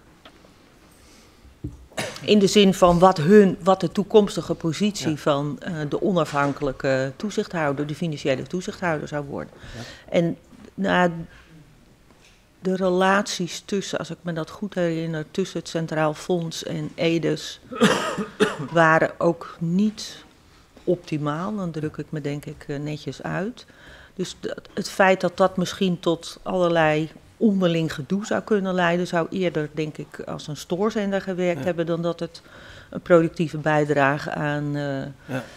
een snel eindconclusie Ja. op zou leveren. Ja, ik vergeleek het al met eh, een kalkoen die meedenkt over het, eh over het kerstdiner, maar eigenlijk door het CFV niet uit te nodigen, wordt de slager weggestuurd. Ja, dat Terwijl het niet zozeer gaat over de toekomst van de slager, maar vooral over de toekomst van de kalkoen, hè? Nee, het gaat over de, het toezicht van een toezichtstelsel. Het gaat over de toekomst van een toezichtstelsel. En daar spe- spelen verschillende partijen een rol in. Maar ik, ja, eh, ik denk dat dat, eh, het niet verstandig was geweest om dat te doen, omdat het eerder complicerend had gewerkt dan dat het eh, tot snelheid van handelen had eh, geleid. En laat eh, helder zijn, misschien is dat, daar heb ik wel behoefte aan om dat ook echt hier te zeggen. Want ik heb begrepen dat de heer Van der Molen van het Centraal Fonds eh, Volkshuisvesting veronderstelt dat ik een deal in dat akkoord onuitgesproken zou hebben over dat het eh, Centraal Fonds gemarginaliseerd zou worden of daaromtrent. Nou, A, dat is echt, dat kan ik echt met de grond van mijn hart zeggen, niet waar. De enige deal die er in dat akkoord, eh, als, er al, eh, als je er al zo naar wil kijken, heeft gezeten, is dat ik de sector de ruimte heb geboden om eh, die solidariteitsheffing in eigen kring te regelen. Hè? Dat, die ruimte heb ik ze gegeven omdat ze dat heel erg graag wilden. Maar het is absoluut, voor mij stond vast dat eh, een onafhankelijke woonautoriteit, dat die noodzakelijk eh, is en dat Ja. die er ook moest komen. Want ik had, ook al was het, zat ik er nog niet een jaar toen, denk ik, al wel gezien dat eh, de versnipperde manier waarop het toezicht nu geregeld was, met en apart eh, het volkshuisvestelijk toezicht en het financieel toezicht, en dan nog een onduidelijke rol van het Mhm. WSW, wat formeel geen toezichthouder is, maar eh, een beetje toch ook weer wel. eh, dat dat dus een van de oorzaken is dat dat eh, toezicht niet goed functioneert en dat daar dus wat aan gedaan moest worden. Dus ik ben in mijn eh, periode er steeds meer van overtuigd dat er één onafhankelijke eh, externe toezichthouder moest komen. En eh, ik heb heel veel respect en waardering voor het Centraal Fonds en het werk wat zij hebben gedaan, eh, gekregen in die periode als minister. En had op dat punt dus ook absoluut een andere conclusie getrokken dan het advies van Meijering. Wat er Ja, eh, toch een beetje op neerkwam eh, dat ze gemarginaliseerd zouden Laat ik worden. beginnen bij de heer Van der Molen. Die zegt eh, in een interview, en hij heeft dat ook hier gezegd, vorige week... in de periode van minister Vogelaar is het toezicht uitgeruild... tegen financiële steun van de corporaties voor de 40 wijken aanpak. Wat vindt u van die opmerking? Ja, dat, dat vind ik erg vervelend dat de heer Van der Molen die veronderstelling Ja. heeft. Hij heeft volgens mij ook gezegd, ook gezegd van ik heb het gevoel dat. Nou, ik had graag gewild dat hij het aan mij had gevraagd, want dan had ik hem Ja. echt kunnen uitleggen dat dat niet het geval Maar is. be- begrijpt u vanuit zijn positie dat dat zo overkwam? Ja, maar goed, eh, Dat hij niet trek dan aan de bel en, en zeg van kun je Ja. hier eens even over praten, Maar- hoe zit je hierin? En dat is niet gebeurd. Want- en ik kan hem alleen Ja. maar zeggen, eh, ik, bedoel, ik heb er ook de aanbiedingsbrief, dat is misschien wel interessant, nog eens even op nagekeken. Eh, die uiteindelijk eh, naar mijn opvolger, minister Van der Laan, de aanbiedingsbrief Mhm. bij het rapport eh, van de commissie Meijering. Want dat was net op het Mhm. moment dat ik weg was, kwam dat de definitieve versie. En daar staat letterlijk in opgeschreven door de ambtenaren dat ten opzichte van het akkoord en, en hoe de Meijering begonnen is, er wel een aantal verschuivingen hebben Ja. plaatsgevonden. En als een van de argumenten wordt daar genoemd dat de minister, dat was ik toen dus nog op dat moment, steeds grotere nadruk legde over de borging van het publiek belang eh, in het hele toezichtskader. Maar, maar begrijpt u dat Van der Molen dit zegt? Want hij zit niet in die commissie. En dan komt vervolgens die commissie Meijering met een advies. En die zegt, en dat is eigenlijk wel heel wonderlijk... er komt een financiële toezichthouder. En dan komt hij... de leden worden benoemd door het eh, kabinet op voordracht van Edes. Staat niet op voordracht van Edes, het staat op voordracht van alle belanghebbenden. En de VNG en eh, de huurders en eh Edes. Bij mijn weten. Weet u het zeker? Ik denk het wel, maar misschien kan het even gecheckt worden. Dus u zegt in dat rapport Meijering wordt niet gezegd... dat eh, toezichthouders worden voorgedragen door Edes. Niet alleen, Niet door alle belanghebbenden. En dat is een punt waar je het, dat zeg ik u ook in alle eerlijkheid, waar je het over kan hebben. Ja, Of je dat wenselijk vindt of niet. Eh, eh, als je kijkt naar. eh, ja, het zou interessant zijn om te kijken hoe het bij de DNB is, bijvoorbeeld. Maar als ik weet hoe het daar is, dan is het volgens mij zo dat de voorzitter van de, vakbewe- van de vakcentrale, de grootste vakcentrale, de voorzitter van de werkgeverscentrale, daar ook kwaliteiten qua zelfs eh, in de toezichthoudende positie zitten. Maar op het moment, dat is natuurlijk precies hetzelfde als als je in een raad van commissarissen zit. De raad van commissarissen eh, bij corporaties is het zo dat er twee commissarissen op voordracht van de huurdersorganisaties worden dat, dat benoemd. thema, sorry dat ik dat thema van collega Muller zoeken we echt nog even op. We komen Ja, daar straks even op terug. Ja. Ja? En eh, één op voordracht van de ondernemingsraad. Ik heb zelf een aantal Mhm. keren in die positie gezeten, die laatste. Je wordt benoemd op voordracht, maar zodra je er zit, heb je een onafhankelijke positie en word je geacht het belang waar je eh, voor ingehuurd bent, of de onderneming, of in dit geval goed toezicht in de sector woningcorporatie, om dat te regelen. Dus, en, maar je, maar bedoel, hè, dus in die Ja. zin moet daar niet een beeld over gewekt worden van dat is dan de sector die even dat gaat doen. Nee, het is heel duidelijk wat dan je taken en verantwoordelijkheden als toezichthouder zijn. Maar ik geef u graag toe, je kan erover discussiëren of je dat een wenselijk construct vindt. En ik kan Precies. me ook voorstellen dat je het niet zo doet. Maar totaal ongebruikelijk is het dus niet. U zei dat het niet de bedoeling was dat u bij het eh, kruisje zou tekenen van de commissie Meijering. De heer Van Leeuwen, de oud-voorzitter van Edes, dacht er toch iets anders over. Ja, dat heb ik begrepen. Ja, dat zei hij hier. Hij ging ervan uit dat de, het advies of de uitkomsten van de stuurgroep Meijering één op één zouden worden voorgelegd aan de Kamer als voorstel voor het nieuwe toezichtsarrangement. Ja, Dat is wat hij dacht. ja nou ja, dat is dan eh, een groot misverstand tussen hem en mij. Want eh, ik, eh, nou nogmaals, ik, Nee, ik hij dacht dat het was afgesproken. U zegt nee, het was een maar advies. het staat ook nergens. Kijk Nee, maar, echt. De, alleen maar deze afspraken worden nader uitgewerkt. En daar staat niet. En wat daar uitkomt, Hij had de indruk van wel. ja, goed, Dat kan. dat kan. Ja. En ik, Nu vraag je af waarop is de indruk dan gebaseerd als hij die heeft, maar niet op een afspraak. Nou ja, misschien eh, dat hij dacht van eh, die vogelaar die doet dat wel of zo, ik weet het niet.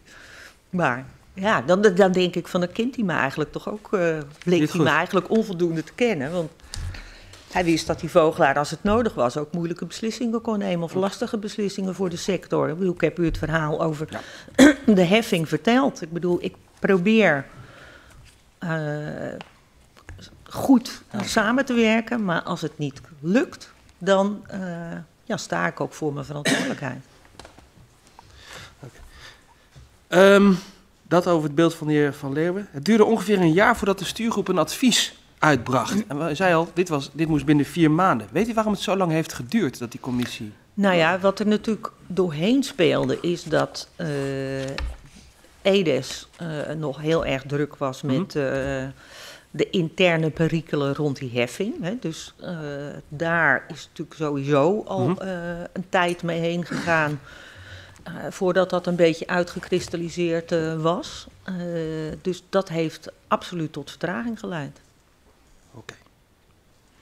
Maar ik, in mijn herinnering is het wel zo dat ik er redelijk achteraan gejaagd Ja, heb. is om nog even zijrapport van opschieten. Nou dat ja, wel. vooral ook naar mijn ambtenaren toe. Zo van eh, tempo eh, erin houden. Want dit moet echt eh, op de agenda komen. Toch duurde het een jaar. Maar als u niet had geport, was het misschien twee jaar geduurd. hè? Dat weet ik niet. Het advies van de stuurgroep Meijering focust op het maatschappelijk middenveld... waarbij begrippen horen als, ja, u zei het al, codes en zelfregulering. Lagen die uitkomsten nou niet voor de hand gegeven het onderhandelaarsakkoord? Dit, sorry, dit kan ik niet even volgen, deze Waren- redenering. Als we het onderhandelaarsakkoord zien, lag het dan niet voor de hand dat dit eruit zou komen? Dat zelfregulering de uitkomst was en eh, codes en dat soort zaken. Was u erdoor verrast door de uitkomst van de commissie Meiring? Laat ik het dan zo formuleren. Nee, niet als het gaat op het punt van dat er eh, binnen de gedragscode Mhm. vi- onafhankelijke visitatie en benchmarking eh, zou moeten komen.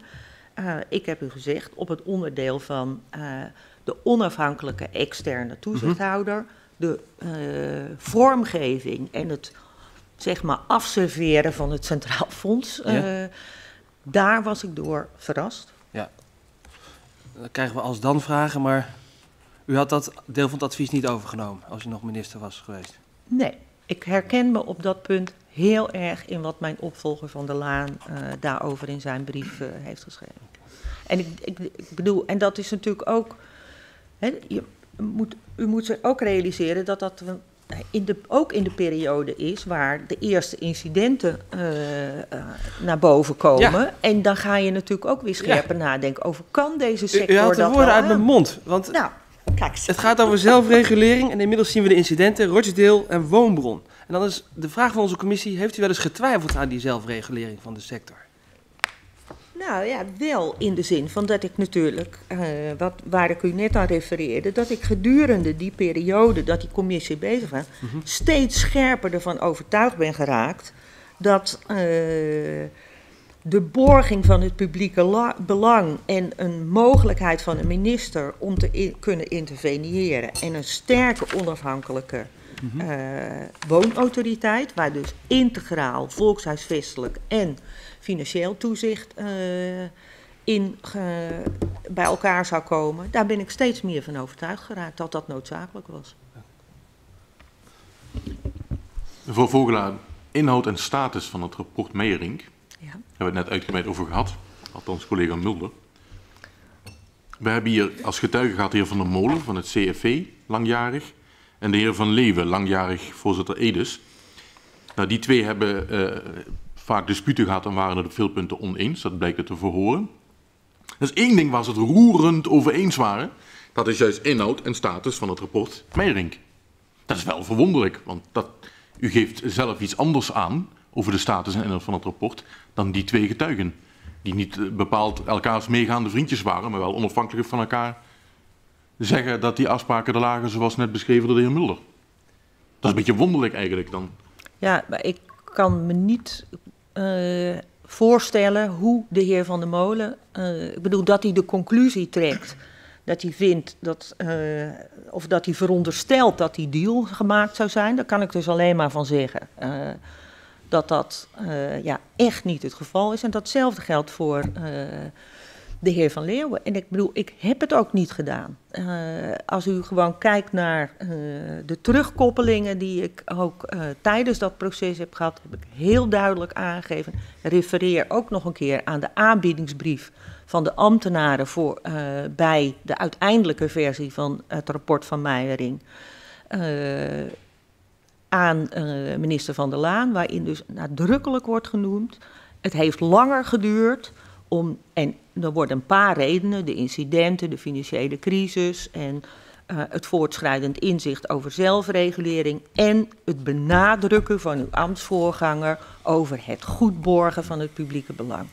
Staat er met, echt met zoveel woorden in, dus... Uh, We gaan even terug naar meneer Mulder. kan die mooier maken.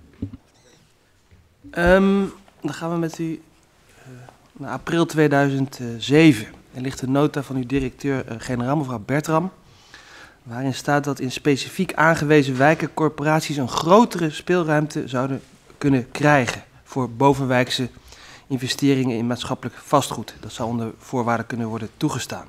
Daar vindt overleg met u over plaats. Maar u wilt die nota nog niet bespreken, want u wilt, omdat u het wilt betrekken met de onderhandelingen met de corporaties. Klopt dat? Ja, dat klopt. En, en waarom?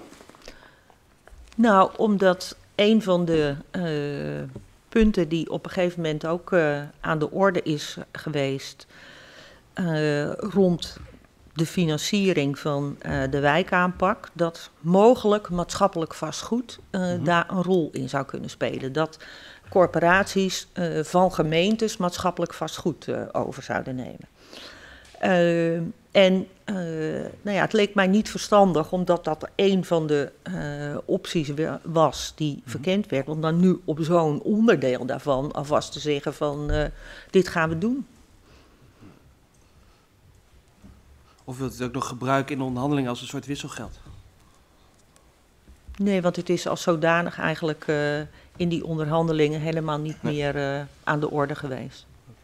Op 29 november 2007 schrijft u de Kamer er is ruimte voor een extra inzet van corporaties op de terreinen waar verantwoordelijkheden onbenoemd of niet eenduidig belegd zijn. En waar het maatschappelijk belang voor het aanpakken van de vraagstukken evident is. We noemen dat de zogeheten grijze kolom. Kunnen we dit interpreteren als een verruiming van het prestatieveld leefbaarheid en daarmee ook voor de verbonden nevenactiviteiten? Ja, ik denk het niet. Ik heb ook uh, ter voorbereiding van dit verhoor nog eens even die grijze kolom doorgenomen. En ik heb hem ook hier bij me. En als u ernaar kijkt, wat daarin staat, ja, dat zijn echt gewoon uh, dingen. Buurtconcierges. Ondersteunen van vormen van wijkbuurttoezicht door bewoners. Investeren, beheren, exploiteren van maatschappelijk vastgoed bijdragen aan opleidingen op het terrein van bouw. Dat betekent dan dus dat uh, uh, mensen die in een opleidingstraject zitten in dienst genomen worden uh, bij corporaties. Dus echt, als u die rij helemaal langs loopt, waar dat over gaat, dan kan ik daar met gemoeden niet in vinden dat het tot een oprekking zou leiden van het begrip leefbaarheid. En er staat dus zelfs bij, uh, het is een gemeenschappelijke verantwoordelijkheid van of gemeente of woningcorporatie of eventueel andere partijen die op zo'n terrein uh, verantwoordelijkheden dragen. Dus uh, ik zie het meer als, en zo is het volgens mij ook bedoeld geweest, als een handreiking van waar hebben we het nou over? Wie? Want er was natuurlijk toch een beetje. Kijk, misschien is dat wel goed om te zeggen. Bij die corporaties was een beetje eh, het idee van wij zijn de pinautomaat. Dat wat woord werd Mhm. dus ook gebruikt. Hè. Ik heb het woord NS gehoord eh, van de week. Maar de pinautomaat was ook een gevleugeld begrip. Wij zijn de pinautomaat van eh, de overheid. Centraal en lokaal. En in dat kader zag je dus dat er voortdurend discussies waren tussen wat moeten, waar moeten gemeenten nou dat extra geld in doen en waar de corporaties. Nou, als een handreiking om te zorgen dat die processen op dat lokale niveau en die gesprekken Ja. tussen die verschillende partijen een beetje goed zouden lopen, zijn, er, eh, zijn deze drie kolommen tot stand eh, gekomen. En gezegd van die middenkolom, daar moeten jullie samen afspraken maken. Links is voor de corporaties, rechts voor gemeentes, onderwijs, eh, politie, noem maar op. En in het midden, dat is inderdaad de grijze kolom. Maar dat zijn dingen waar ik kan daar niet iets in ontdekken. Waarvan je zegt in het kader van de leefbaarheid zijn dat activiteiten die eh, niet op de agenda Nee. ook al stonden, volgens mij. Eh, van wat vindt u dan van een rapport van de Algemene Rekenkamer uit 2008, waarin staat de toenemende aandacht voor de oplossing van de sociale problematiek in de wijken zorgt ervoor dat corporaties in hun taakoefening meer en meer de grenzen van het BBSH opzoeken en deze in enkele gevallen zelfs dreigen te overschrijden. Ja, ik denk dat dat dus niet zozeer op het terrein van de leefbaarheid Mhm. heeft gelegen. Als je kijkt naar eh, waar de problemen en de incidenten zo, zich ook hebben voorgedaan. Eh, behalve dan eh, het etiket rond de SS Rotterdam, wat in het kader van leefbaarheid misschien gekwalificeerd kan worden. Maar dat dat veel meer eh, allemaal heeft gezeten in commerciële vastgoedactiviteiten, waar het echt eh, mis is gegaan. En grondspeculaties aankopen. Dus het is geen eh, verruiming van het prestatieveld leefbaarheid in uw ogen, die grijze kolom. Nee, ik bedoel, waar de discussie over eh, gaat, en waar u net refereerde aan die nota, eh, over eh, ook maatschappelijk vastgoed buiten eh, de wijken waar die corporaties in, want dat was de afgrenzing die er nu is. Eh, daar is toen geen besluit op genomen. Ik kan u wel in alle eerlijkheid zeggen dat er op één, voor zover ik me herinner, één situatie, namelijk een museum in Leeuwarden, Mhm. eh, wat, eh, waar je de discussie over kan voeren of dat een wijk gerelateerd is aan die wijk. Die corporatie had daar wel bezit, iets van va- kleine 500 woningen als ik me goed herinner. Eh, maar daar is een discussie over geweest en daar heb ik uiteindelijk van gezegd, oké, het, het probleem was dat ze het als nevenactiviteit te laat hadden ge- gemeld. Dus ze hadden het al. Het ging ook maar over een paar ton, eh, Mhm. eh, de aanschaf van dat pand. En daarvan heb ik toen gezegd van, laten we dit maar accepteren. Dus Maar dat is volgens mij het enige... eh, Dus u zegt het is geen uitbreiding van het begrip leefbaarheid. Mijn vraag zou zijn, als dat wel het geval is, in welke wet en regelgeving is dat vastgelegd? Maar dat is natuurlijk geen wet en regelgeving vastgelegd, want het past al binnen de bestaande regels. Nou ja, leefbaarheid is een van de prestatievelden, maar eh, daar heeft u natuurlijk ook al met heel veel mensen over ge- eh, Ja. van gedachten gewisseld. Die prestatievelden zijn in hele algemene termen Ja. geformuleerd. Dus, en kijk, Ja, het is, het is best een, eh, de moeite waard om na te denken of je die eh, wat meer preciezer zou kunnen formuleren.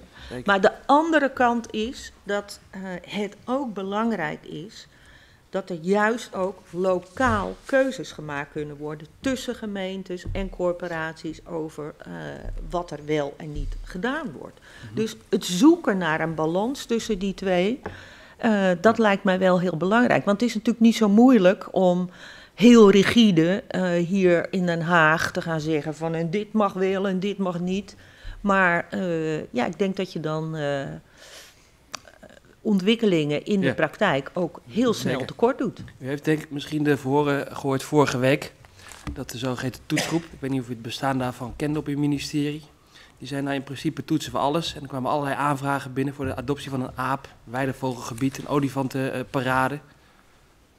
Ik heb die voorbeelden heb ik nooit, zijn nooit tot mij gekomen. Ik bedoel, ze zijn hilarisch, zou ik zo ongeveer willen ja, zeggen. dat zijn uw woorden, maar Eh, ja, nou ja, maar dat vind ik ook echt. En ja, Maar die regelgeving lokte dat uit en de toetsgroep ja, ook. Ach, nou, nee. De, Want er nou, werd gezegd, alles wat corporaties voorleggen, wordt getoetst. En wat een nevenactiviteit is, dat weten we niet precies. Ja, maar- van een maar je- je hoeft volgens iets wat mij- lijkt op een Je nevenactiviteit. hoeft volgens mij geen eh, uur na te denken om Nee. eh, als zelfstandig handelend ambtenaar te bedenken dat een olifantenparade of wat Ja, nee. parade was het, om daarvan het- te het gaat- constateren dat dat gewoon... Nee, het punt is niet dat die ambtenaren niet nadenken over die olifantenparade. Het gaat erom dat die corporatie het bedenkt van het zou best kunnen. Dat is het wonderlijk. Ja, maar ja. Hoe kan dat ik- nou?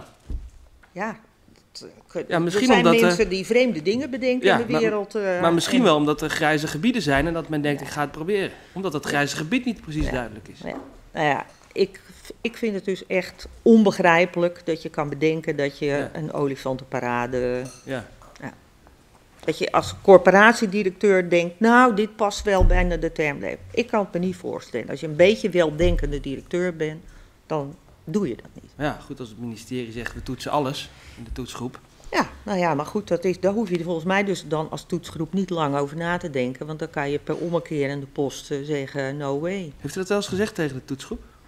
Nee, wat het bijzondere is, dat de toetsgroep echt pas tot leven is gekomen voor mij in, eh, eh, in uw werk, zal ik maar zeggen. Eh, want als zodanig, eh, als minister, eh, Wist u niet van de toetsgroep? nou ja, blijkbaar heb ik wel een paar keer misschien eh, een brief gehad, maar dat er een zeer frequent opererende toetsgroep was die allemaal dit soort dingen tot zich nam. Dat, ik moet u echt in alle eerlijkheid zeggen, dat heb ik totaal niet op mijn netvlies.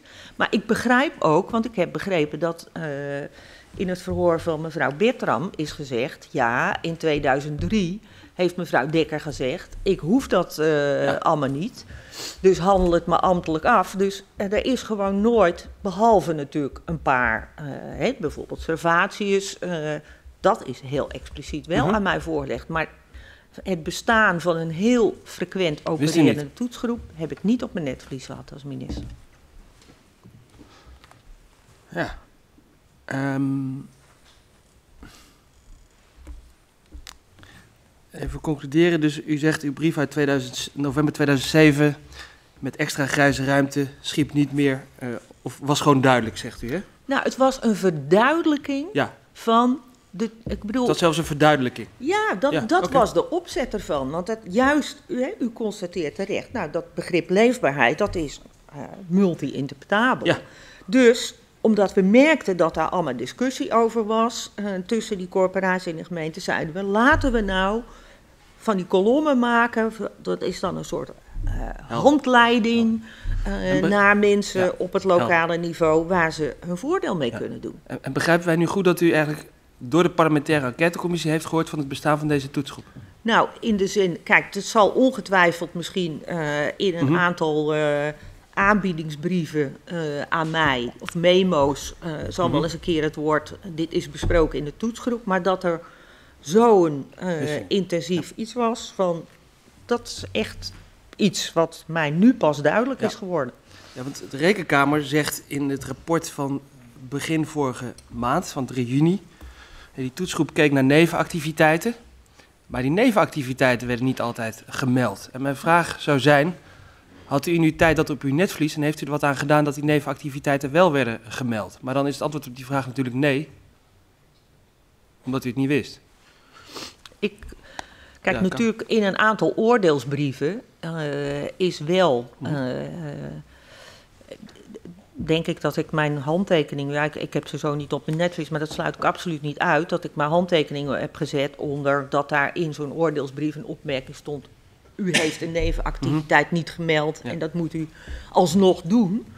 Eh, kijk, ik denk wel dat eh, dit een van de punten is eh, over het melden, het niet melden van nevenactiviteiten. En daarnaast ook, als ze wel gemeld waren, en dan de afspraken die gemaakt werden van het departement, de condities waaronder het ze dan wel opgepakt mochten worden door de corporaties, dat dat onvoldoende is aangestuurd vanuit het Ja. departement. Ik bedoel, als ik daar nu op terugkijk, eh, denk ik van ja, dat eh, had wel een tandje Ja. scherper gemogen. Maar eh, ik heb me dat toen niet, Nee. ik heb me onvoldoende we het- gerealiseerd. toen. Als we terugkijken in de tijd zien we dat minister Remkes wel degelijk weet, wil weten wat de toetsgroep doet. Die wil het voor zich hebben. Minister Dekker zegt, nou, doe het ambtelijk af. En u neemt eigenlijk de methode Dekker over. Misschien Ja, maar onbewust. niet bewust, want Nee, omdat, onbewust, ik, omdat ja. gewoon niet Ja. aan mij is Ja. voorgesteld. Ja, want kijk, ik, eh, eh, als ik het had Ja. geweten, Ja. dan had ik waarschijnlijk gezegd, laat het mij maar zien. Ja, want ik denk maar- dat een van de klachten van mij als minister af en toe wel eens was dat ze vonden dat ik te veel wilde zien. Dus eh, ambtelijk. Dus als ik hier een scherp bewustzijn van had gehad, eh, dan had ik waarschijnlijk meer voor de lijn van Remkes gekozen dan van mevrouw Ja. Dekker. Ja, ja. Maar we, weten, begrijpen nu hoe het is, eh, is, eh, is gegaan. En dan kom ik bij de Euro- Europese Commissie.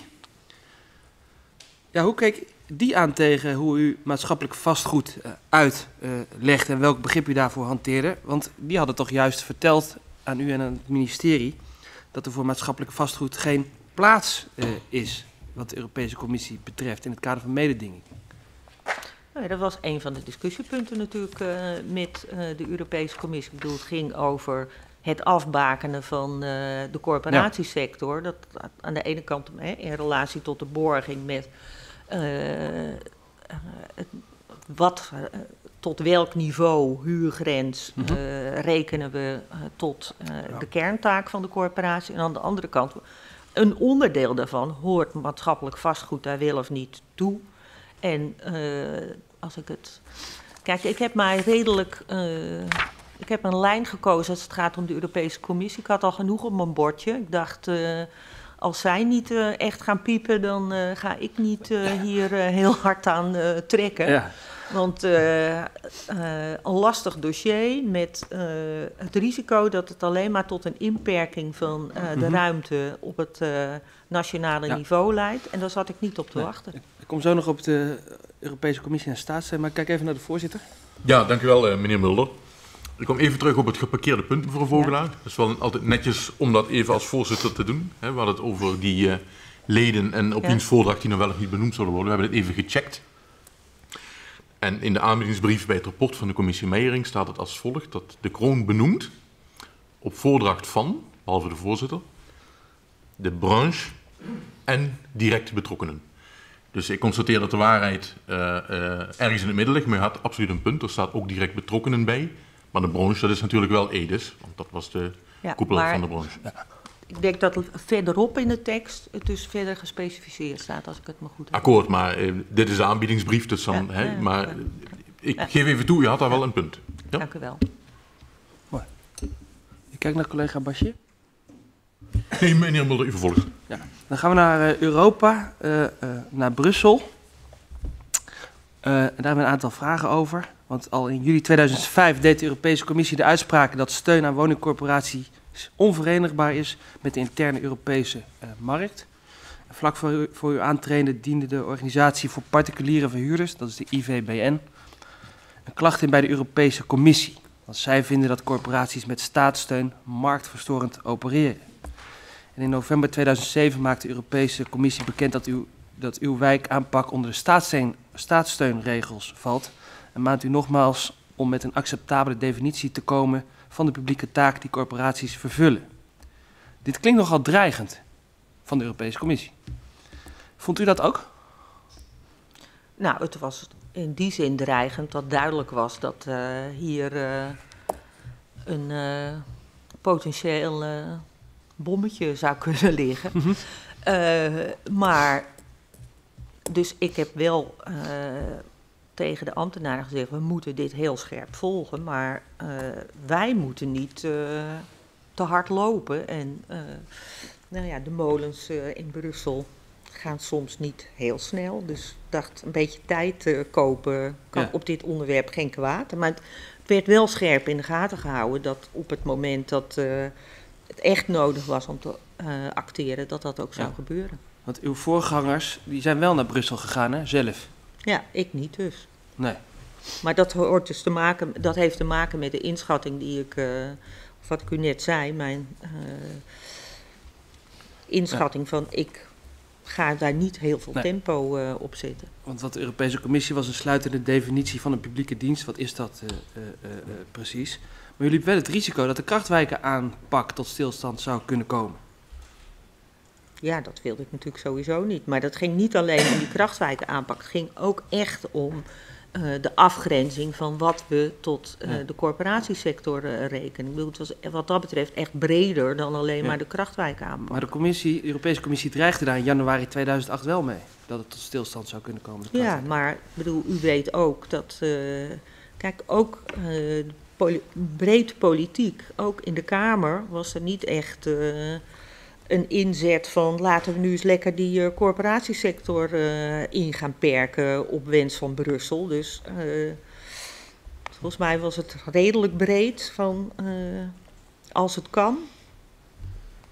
Mag Ja, het wel klopt. wat tijd kosten? de, de Kamerleden, de, de, Ka- de Kamerleden de Plaan van Bochhoven eh, waren tegen de inkomenseis van de Europese Commissie. En zij wilden ook dat maatschappelijk vastgoed ook als dienst van algemeen belang werden Ja. gezien. Dus de Kamer steunde u daarin. Ja. Maar jullie hebben wel een risico. Als het niet geregeld zou worden, zou Europa Ja, maar ik bedoel dat. eh, Ja, ik heb dan- het zelf, omdat ik eh, u heb gezegd van. we hielden het scherp in de gaten. Dat op het Ja. moment dat er echt geacteerd moest worden, dan zouden we dat ook absoluut doen. Mhm. Maar zolang dat niet, die grens niet bereikt was, of dat moment niet bereikt was, eh, kozen we dus voor, koos ik voor een afwachtende houding. Ehm, En het is allemaal op zijn pootjes terechtgekomen, nou ja. Ja, uiteindelijk, nou ja, ik weet niet of we daar later op de dag nog over komen te, eh, te, te spreken. Ehm, de Tweede Kamer en de, uw ambtenaren merken meer- meerdere malen op dat er een politieke dimensie aan het staatssteundossier eh, zat. Was dat ook uw beeld? Bijvoorbeeld de opvattingen van, meneer, van eh, Eurocommissaris Kroes? Nou ja, kijk, eh, het gevoelen was soms wel dat eh, het mogelijk een complicerende factor was dat eh, mevrouw Kroes natuurlijk een Mhm. Eurocommis- Nederlandse eurocommissaris, een Nederlandse achtergrond is. En dat zij absoluut niet de verdenking op zich wilde laten, laden dat ze eh, met, op, met een andere maat zou meten naar Nederland dan eh, naar andere eh, landen toe. Maar ik heb daar absoluut geen hard bewijs voor. Ik ken mevrouw Kroes als een vrouw die zeer streed is. Dus ik, ik, ik weet het niet. Ik heb nooit met haar hierover onderhandeld. Dus het is alleen maar gissen wat je dan doet. Dus eigenlijk dacht u van, nee, ik wacht, eh, ik wacht eens even rustig af. Oké, helder. Dank. Nou, niet rustig, wel scherp ook. Hoor. Wel scherp af, maar Ja. helder. Oké, dank. Dank eh, meneer Mulder. Wij gaan door met collega Oskam. Ja, dank u wel, voorzitter. We gaan dus eh, wat inzoomen op de nevenactiviteiten in de incidenten, mevrouw Vogelaar. Idee achter het krachtwijkenbeleid was dat de woningcorporaties een bredere verantwoordelijkheid zouden nemen. Hè, Dat heeft u net al gezegd voor de leefbaarheid van de wijken en de buurten. En daarbij zou passen een verruiming van de mogelijkheid om nevenactiviteiten te ontplooien. Nou, een van de eerste woningcorporaties die daar actief mee aan de gang ging was Rantree. En die heeft een, charter gesloten met de gemeente Deventer in, eh, in 2008 in het kader van het krachtwijkenbeleid. En daarbij is afgesproken dat ze 4 miljoen bijdragen aan de infrastructuur van de Amstellaan. En kunt u ons eens uitleggen of dat in uw beleid past en zo ja, op welke wijze? Naar mijn idee is het zo dat eh, daar, daar staat in inderdaad eh, dat de rentree bij, een, vi- een bijdrage van 4 miljoen eh, aan het project Amstellaan geeft. Ja. Maar volgens mij, dat project Amstellaan omvatte wel meer dan alleen maar de discussie over de verdieping van de Amstellaan. Eh, dat ging erover, dat was een integraal plan, eh, waar een onderdeel van was die uitvalsweg uit het centrum van eh, Deventer, die die wijk in tweeën eh, splitste. Dat, het, dat dat voor de leefbaarheid niet bevorderlijk was. Dat kinderen naar scholen, van scholen over en weer moesten. En dat er een integraal plan is ontwikkeld. Daar hoorde dus ook bij dat er, als het gaat om maatschappelijk vastgoed, ik geloof met één van de twee scholen, maar misschien zelfs met alle twee, dat weet ik niet. En dat er ook een plan was over wat er dan, als het ging over die ondertunneling van uh, die weg, op dat gebied wat daarmee gecreëerd werd, uh, zou uh, worden gerealiseerd. Dus naar mijn idee is het breder, het project Amstelaan, dan alleen maar de ondertunneling. Ja. Er zitten een aantal componenten in, hè? u noemt het al, ook volkshuisvestelijke componenten is dat zeker. Maar de vraag is natuurlijk, als er zo'n weg moet worden aangelegd, of dat dan een taak is voor een corporatie om daar aan mee te doen. Als ja. ik hem zo stel, hoe, hoe, hoe, kijkt u er dan tegenaan? Nou ja, als het dus, het, het was dus onderdeel van een integraal plan, hè, ja. die Amstellaan, niet alleen maar, het ging niet alleen maar over die ondertunneling. Uh, als het dus uh, een medefinanciering is, want dat was dus ook aan de orde, is niet een project dat alleen door Rantree werd gedaan. Er waren andere financiers ook bij betrokken. Uh, om die leefbaarheid te, te vergroten. Uh, dan, uh, ja, in dat geval hebben we gezegd dat, dit, dat dat kon. En dat ging over 4 miljoen. Later bleek het over andere bedragen te gaan. Maar, dus wat dat betreft was het ook een nou ja, niet exceptioneel bedrag als je kijkt naar investeringsbudgetten waar corporaties mee werken. Nee, nee, niet zozeer om het geld, maar wel meer om, om het idee of je daar dan aan meedoet of niet. Maar u vindt dat het wel kan. Ja, als het dus. Kijk, als het alleen maar zou gaan ja. om een. Uh, 4 miljoen geven voor een weg. Voor een weg. Dan had nee. het niet goed gevonden. Maar het, het was dus in het kader van ja. het vergroten, het verbeteren van die leefbaarheid. Uitdrukkelijke wens van de bewoners om dat die wijk die door okay. tweeën gesneden werd. Nee, zorgen is... dat scholen uh, ook beter gepositioneerd werden. Dat kinderen niet voortdurend ja. die gevaarlijke weg ook. Dat je dan zegt, zo'n totaalplan, hoe gaan we dit probleem, een uh, probleem in die wijk, waar die wijk mee te maken, hoe gaan we dat oplossen? Dat de corporatie daar dan een aandeel in heeft, vind ik niet vreemd. Ja. Ander uh, incident is Rotterdam, hè? De, het stoomschip. Nou, dat was al gekocht voordat u minister werd, maar in 2008, uh, tijdens uw uh, regeerperiode, toen uh, er kwam eigenlijk het incident naar voren. Het was een beetje vervelende publiciteit. Wat vond u persoonlijk van het incident? Ja, ik vond het natuurlijk heel vervelend. Er is geen twijfel over mogelijk dat dat zo mis is gegaan. Ja, het is afschuwelijk voor iedereen. ja. En wij, wij onderzoeken natuurlijk of mensen het hadden moeten zien aankomen, of mensen eerder hadden moeten ingrijpen of op de rem hadden moeten trappen. Um, um, ik breng dan in herinnering dat zeg maar onder uw voorganger Winsemius, daar wordt uh, het stoomschip in de toetsgroep behandeld. Mevrouw Bertram is hier geweest, die zei in eerste instantie, nou, uh, toen ik een intakegesprek had met de heer Kromwijk, toen oordeelde ik het uh, niet als een ne nevenactiviteit, want het ging om 400 hutten en nou ja, het was gewoon volkshuisvesteling project, dus de toetsgroep was helemaal niet aan de orde. Maar later is het natuurlijk wel dan in de toetsgroep gekomen. En uh, ja, op dat moment zijn er eigenlijk al vragen over de financiën. En heeft u toen van uw ambtenaren meegekregen dat er in oktober 2006, heb ik het over, vraagtekens bij de financiën van dat schip werden ge, uh, gezet in de toetsgroep? Nee, absoluut niet. Maar uh, nee, echt niet. Ik bedoel, het nee, eerste moment waar ik uh, ermee geconfronteerd ben, is uh, het signaal dat de accountmanager uh, van Vrom constateerde, ik dacht dat dat februari 2008 was, uh, dat er een overschrijding, dat, dat, het, dat het bedrag wat geïnvesteerd moest worden enorm opliep. nou, toen kort daarna heb ik, heeft het op begin maart had ik een bestuurlijk overleg met Centraal Fonds. Toen hebben zij een marge van dat overleg tegen mij gezegd van... daar zijn financiële problemen.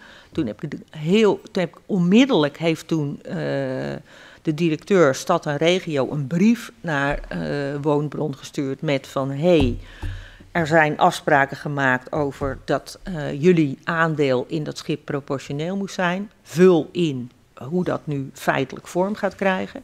Daarna heb ik de brief uh, van Centraal Fonds gehad. Uh, en uh, met dus echt on, verder onderbouwd wat voor problemen zij tegengekomen waren.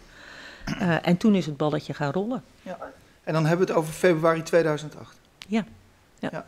Want er zit een aanmerkelijk aantal maanden tussen. Want wat nou, om in uw eigen bewoordingen te spreken, wat nou heel pikant is, is dat dit in de to toetsgroep wordt besproken in oktober 2006. Dan besluit die toetsgroep er ook verder niets meer mee te doen in de zin van dat het steeds terugkomt op de agenda daar. Ehm, en in november 2006, dus een maand later, presenteert u uh, uh, uw uh, oordeelsbrief naar Woonbron toe. En dan worden ze eigenlijk overladen met complimenten dat, dat ze het echt goed doen, maar dat ook dat schip eigenlijk een fantastisch initiatief is.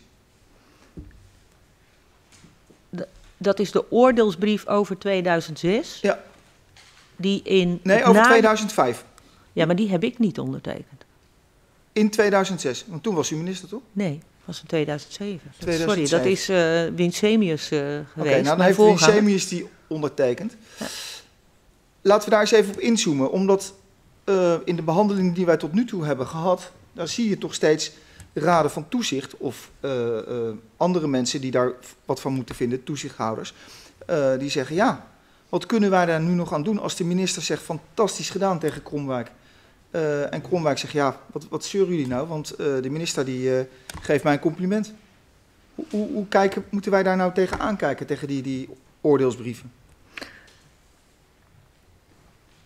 Ik, ik, kijk, het is, het is niet dus onder mijn verantwoordelijkheid gebeurd. Nee. Ik kan alleen maar zeggen dat ik kennis heb genomen van het feit dat uh, die oordeelsbrief in het najaar van 2006 uh, verschenen is. Ja. Ik heb niet op mijn netvlies wat u zegt over dat er dus toen ook al in de toetsgroep over gesproken zou zijn voordat die oordeelsbrief uh, nee, dat was ook is. de vraag. Nee, dat, maar dat weet ik dus niet, want ik nee. was toen geen verantwoordelijk minister, dus dan kan ik gewoon... Uh... Nee, maar als maar, u aantreedt of, of, of als, als, dit dossier wordt besproken, wanneer, wanneer hoort u dan voor het eerst? En dan zegt u februari 2008. Ja, echt waar. En toen was u al een tijdje bezig. Ja, ja. Uh, maar kijk, als je erop terugkijkt, kijk, uh, ik heb het wel altijd als een nevenactiviteit gezien hoor. Dus in die ja. zin uh, verbaast het mij ook, en, en zo is het ook tot mij gekomen als in, uh, hè, want als je als minister dan uh, een dossier uh, voor het eerst meegekomen, dan krijg je ook altijd een beetje geschiedenis van wat heeft zich hiervoor afgespeeld. En naar mij toe is altijd neergezet, gemeld, dat er vanaf het begin af aan is gezegd je mag proportioneel participeren in deze nevenactiviteit in relatie tot uh, de kernactiviteit uh, van uh, de corporatiesector. Dus voor het woondeel, en dan kon je nog discussiëren over of de museumfunctie er wel of niet toegerekend zou worden.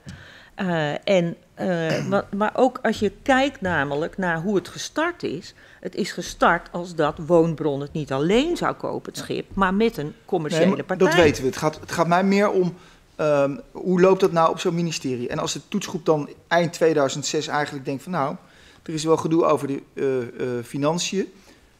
En dan uh, leg ik maar even als conclusie neer. Had die toetsgroep dan aan minister Winsemius of later aan u moeten zeggen, minister, is gedonder.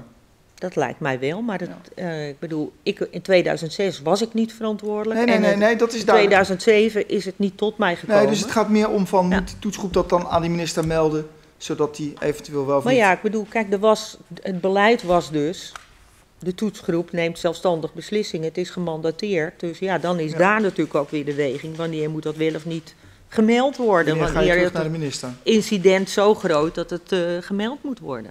Ja. He, dat, uh, in november 2008 worden er, uh, naar aanleiding van het debat over de SS Rotterdam 100 schriftelijke vragen gesteld. Kan u zich nog wel herinneren door de Tweede Kamer. Ja. En uh, de Kamerleden waren destijds zeer kritisch over de verantwoordelijkheid van het, uh, van het ministerie. de heer Jansen van de Socialistische Partij, hier ook geweest, die dient zelfs een motie van wantrouwen tegen u. Dus dat is niet heel, heel prettig. En die motie is verworpen. Hoe heeft u dat debat ervaren? Hoe was de sfeer? Kunt u daar nog iets ons over vertellen, mee terugnemen?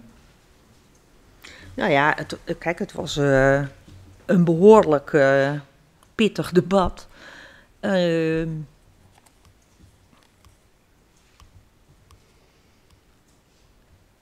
waar de Kamer inderdaad, en terecht denk ik, mij stevig aan de tand voelde. En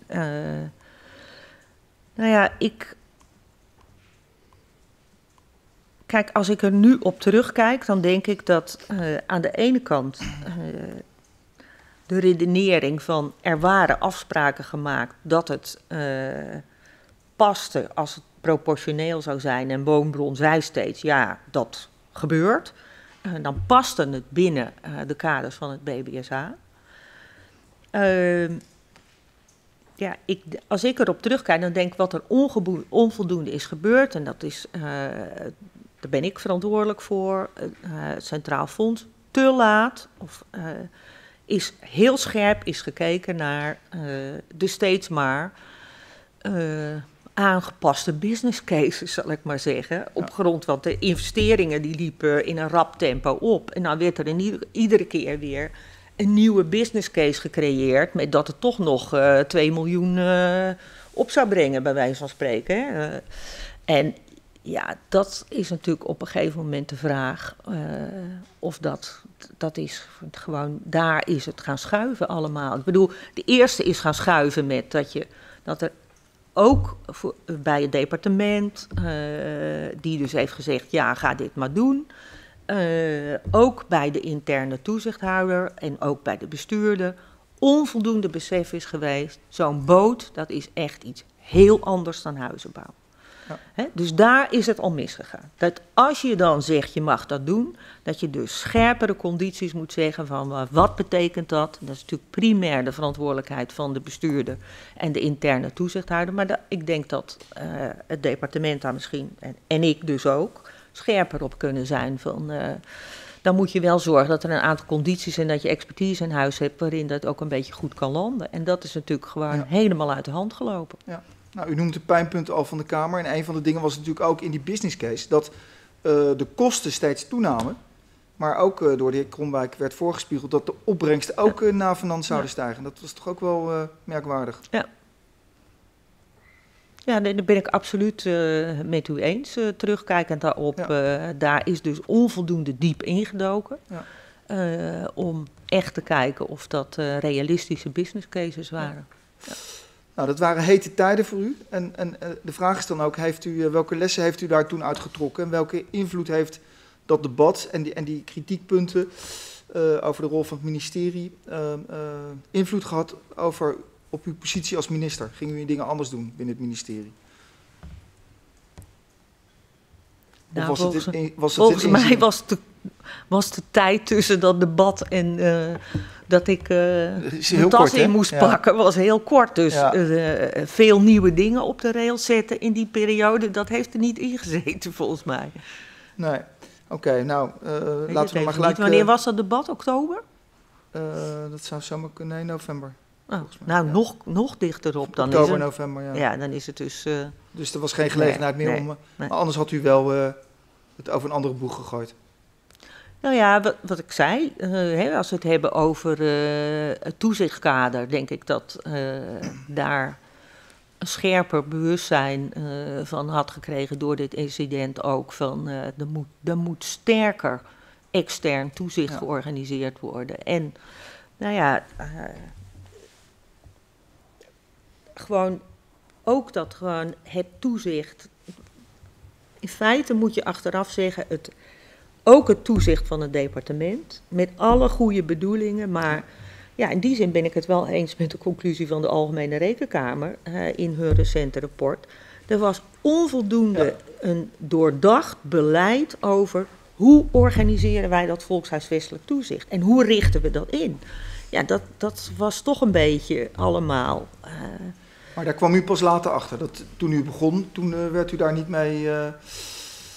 Nee, want dat is natuurlijk nee. iets wat je zelf op een gegeven moment vast moet stellen. Maar als je ja. kijkt naar bijvoorbeeld inderdaad de lange periodes die er zitten tussen uh, uh, aanwijzingen over nevenactiviteit beëindigen of zeggen van dit moet anders. Ja, dat, dat sleept zich vaak voor. Dus daar, ja, in mijn beeld zou je daar gewoon veel strakkere procedures ja. op moeten zetten. Volgsystemen. Maar ja, goed, dat zeg ik nu met uh, alle kennis en wijsheid van nu. Op dat moment uh, heb ik dat onvoldoende scherp op mijn netvlies gehad. Dat is absoluut ja. waar. Ik wil er toch nog even op inzoomen, hè? want u, uh, het was, waren wel hete nachten. En u kreeg op een gegeven moment kreeg u de antwoorden op die Kamervragen. En toen zei de secretaris-generaal, nou, het ziet er goed uit. En toen dacht u van nou, ik vind van niks. En u bent de hele nacht doorgegaan om toch uh, dat uh, te veranderen. En in uw boek schrijft u er ook over van... Uh, als ik die na nacht niet had doorgewerkt, dan hadden ze me toen al afgemaakt. En dat zegt ook wel iets over hoe u, hoe u tegen de mensen op het ministerie aankijkt. Want daarover heeft u ook gezegd... sommigen zitten er al tientallen jaren. Hè. Ze waren heel trouw en loyaal, want je kon eigenlijk wel altijd op ze rekenen. Maar het is de vraag, als je er zo lang zit en je hebt zo intensief contact in zo'n kleine branche, zeg maar, toch, uh, of je dan nog in staat bent om je rol als toezichthouder te vervullen. Uh, hoe, hoe keek u nou naar uw ambtenaren? Hoe zou u ze nou.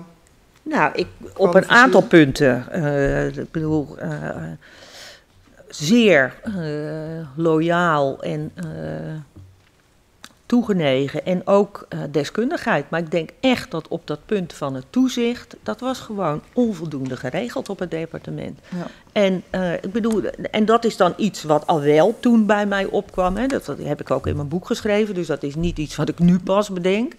Dat, ik in, dat is dan zo'n punt dat je gaat realiseren dat je denkt, als je ergens commissaris bent, dus toezichthouder intern, dan is het gewoon zo, twee termijnen, exit. Want je wil, je weet dat er een afbreukrisico is als je uh, te lang als toezichthouder ergens op een plek zit, dat je dan te veel verweven gaat worden met die organisatie, met de bestuurders. Nou ja, dat soort noties. Nadenken over dat je dus dat ook regelt ja. binnen uh, een toezichthoudende organisatie, in dit geval het departement. Ja, die waren er dus niet. Dus dat begon bij mij wel toen al een beetje te dagen van hé. Hey, uh, en da daarmee zeg ik, dat is dus geen disqualificatie over de ambtenaren, maar wel feitelijk constateren hoe zorg je voor een goed toezichtstelsel. En daar horen dit soort dingen ook gewoon bij. Het zou dan ook moeten gelden voor de medewerkers van het Centraal Fonds. Ja, maar dat, dat kan je ook anders oplossen daar, door bijvoorbeeld uh, te wisselen. Dat je zegt van je hebt nu die corporaties uh, doe je maximaal zes jaar of acht jaar, ik noem maar wat, of vier. En dan wissel je, dan ga je naar een andere groep corporaties, zodat je weer even met een flissenblik. Precies hetzelfde als wat je met accountants doet. Hè. Dat is ja. nu ook een regeling van uh, dat je na zoveel jaar moet, moet wisselen, wisselen, van een accountant. Uh, nou, dat is heel gezond en dat geldt ook voor de, dit soort vormen van toezicht, denk ik. Ja. U sprak net al even met meneer Mulder over uh, het gesprek tussen de heer Van Leeuwen van Edis en u en minister van Financiën Bos. Um, en de positionering tijdens dat gesprek. Nou, u heeft gezegd het was pikant. Uh, Bos vond het verbazingwekkend. En u zei daarover, ja, dat zegt eigenlijk wel iets over de samenwerking tussen, tussen Bos en Vogelaar. maar waar ik eigenlijk meer nieuwsgierig naar ben, is wat zegt het over de samenwerking tussen u en de sector? zit er een verwevenheid tussen de minister van Wonen, Werk en Integratie en, en de branchevereniging Edis? Nee, dat, ja, nee, nee zo dat ervaar ik dat niet. Kijk, ik, uh, van mijn portefeuille, de woningcorporaties waren voor mij terra incognita toen ik eraan begon. want ik had nooit iets in die sector gedaan. Dus het was gewoon een nieuwe wereld waar ik in terecht kwam. Uh, kijk, ik was er wel op uit om uh, tot afspraken met die corporatiesector te komen. Nou, vandaar ook dat ik dat uh, akkoord uh, met ze heb gesloten. Maar dat heeft te maken met mijn visie op hoe je probeert als bestuurder of als verantwoordelijke ergens resultaten te boeken. Als je, dat, als je niet alleen zelf maar op een knop kan drukken, maar dat je meerdere partijen nodig hebt om tot resultaten te komen, dan is mijn uitgangspunt dat ik probeer afspraken met zo'n partij te maken, met de gemeentes, met de woningcorporaties, over hoe je dat gaat doen met elkaar om te zorgen dat het een succes wordt. Maar ik heb u ook eerder gezegd, het is ook zo dat als blijkt dat afspraken om wat voor redenen dan ook niet nagekomen worden, ja, dan trek ik wel mijn conclusies. Dus het is echt niet zo dat uh, ik, uh, als het nodig was, ook kon zeggen: ja, maar dit is nu mijn verantwoordelijkheid. En ik begrijp dat jullie het niet prettig vinden, maar doe het wel. Ja. En ik bedoel, dat was er ook. Ik denk dat. maar er was ook, zo heb ik het in ieder geval ervaren, wel. Maar ja, dat is een beetje van hoe je in onderhandelingen altijd met elkaar omgaat. Ik heb wel altijd wederzijds respect of respect voor degene met wie ik onderhandel. En probeer me ook te verplaatsen in de positie van de ander. Uh, omdat mijn ervaring is, en ik heb redelijk wat onderhandelingen in mijn leven gedaan, dat je dan uh, het beste resultaat bereikt. Ja, respectvol en open-minded. Ja. Uh, we hadden net Wouter Bos hier. En die deed stevige uitspraken, met name over uw val.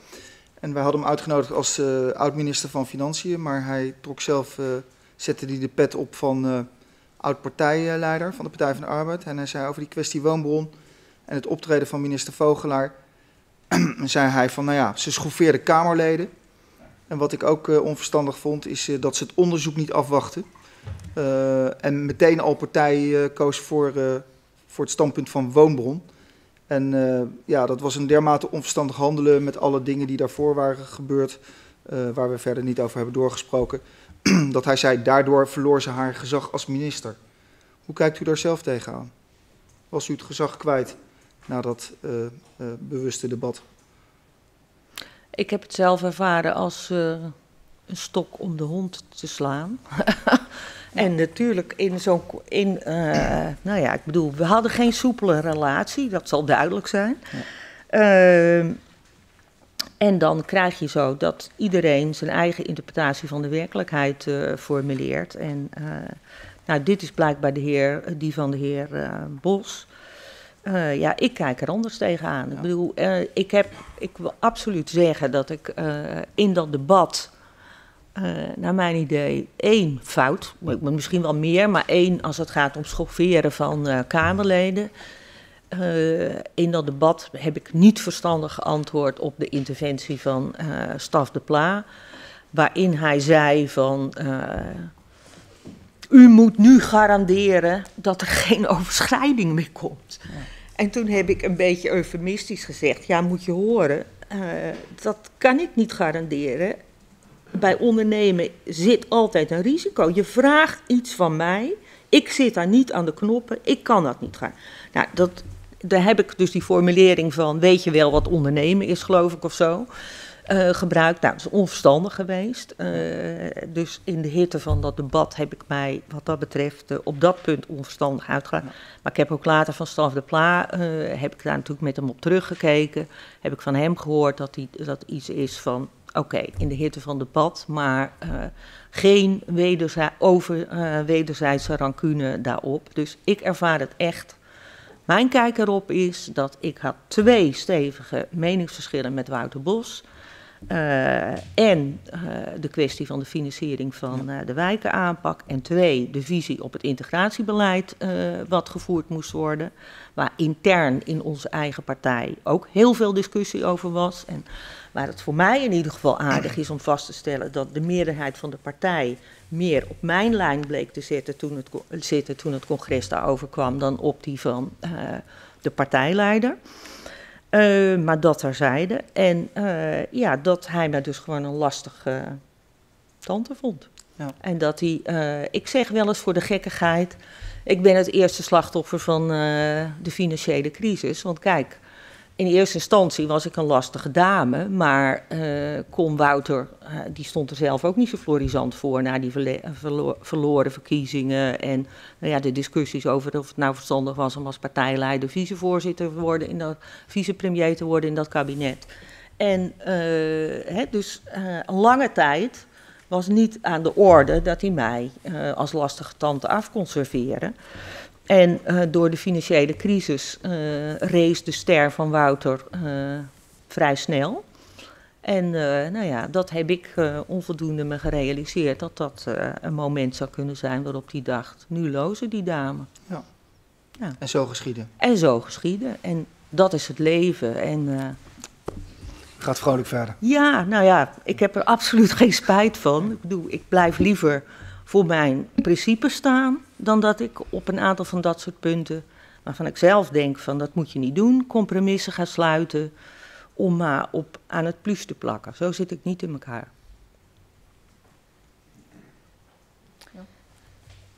Mevrouw Vogelaar, ik heb ook een aantal vragen voor u. Erkent u dat uw krachtwijkenbeleid leidde tot ruimere interpretatie van de regels voor nevenactiviteiten? Nee, dat, dat kan ik totaal niet plaatsen. Mijn collega Oskam heeft ook een aantal keren uh, de toetsgroep in oktober 2006 aangehaald die het heeft gehad over woonbron en het stoomschip. Daarvan gaf u aan dat is voor mijn tijd, maar in uw tijd gaf u aan dat u niet eens het bestaan van die toetsgroep wist. Is dat geen tekortkoming vanuit uw kant? Ja, eh, formeel, uh, als het gaat om je positie als minister, klopt ja. Want je bent verantwoordelijk voor het rijden en zeilen van het ambtelijk apparaat. Maar ik wist het gewoon niet. Ik bedoel... Uh, U had het dus wel moeten weten? Nou ja, ik had het wel graag geweten, ja. U had het moeten weten? Niet alleen dat u het graag Tuurlijk, had? ja, ja. beide. Want u haalde ook aan dat, um, uh, dat het gemeld had moeten worden, hè, dat het met het stoomschip niet goed ging. U had het ook over beter toezicht. Ziet u dat ook als uw verantwoordelijkheid als minister? Ja, natuurlijk. Maar ik, daar loop ik ook niet voor weg. Natuurlijk is dat zo, dat je daar de verantwoordelijkheid voor draagt. U gaf Alleen, ook ja, u heeft uw zin afgemaakt. U gaf ook aan, um, een boot is geen huis. Ik begrijp uit uw woorden dat u eigenlijk zegt, schoenmaker blijft bij uw lees. Dat u ook, dat ook vond als het ging om woonbron en het stoomschip. Um, u gaf aan dat u in februari 2008 het signaal kreeg. Maar klopt het dat u in april 2008 nog steeds dit schip verdedigde? Ja, ik wil even toch uh, de hele film uh, in kaart brengen. Kijk, uw conclusie van uh, een schip, ik, ik, zeg inderdaad, een schip is geen huis. Als je het dan doet, dan moet je dus realiseren, moet je je realiseren dat je iets heel bijzonders gaat doen.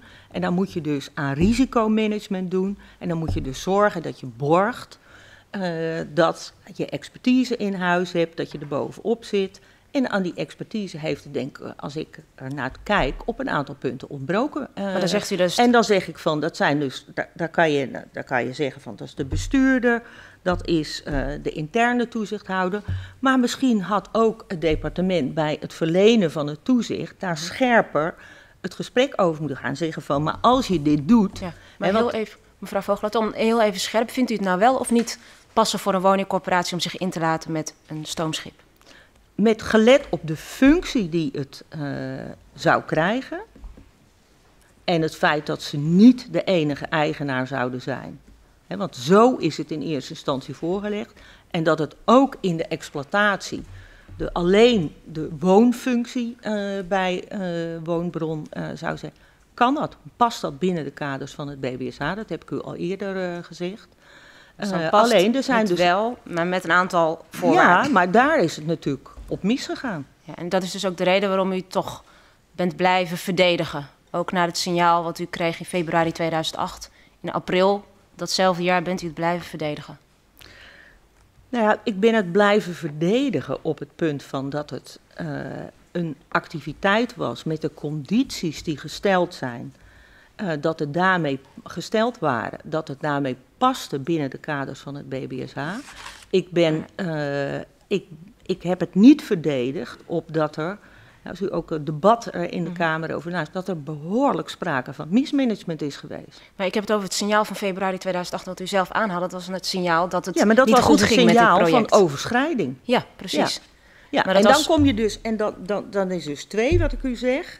Ik denk dat... Uh, en dat, en dat is ook mijn verantwoordelijkheid, dat er onvoldoende scherp gekeken is naar die business cases die voortdurend aangepast werden, waardoor het plaatje er toch nog positief uitkwam te zien. Onvoldoende gekeken door zowel uw ministerie, waar u verantwoordelijk voor was, als mede de mensen vanuit Woonbron. Ja, maar die, ja, ik bedoel, uh, die business cases die waren er in mijn herinnering toen nog niet. Die zijn pas in uh, op het moment dat het uh, misging, hè, ja. uh, echt in de periode dat Centraal Fonds en zo, en toen dat onderzoek.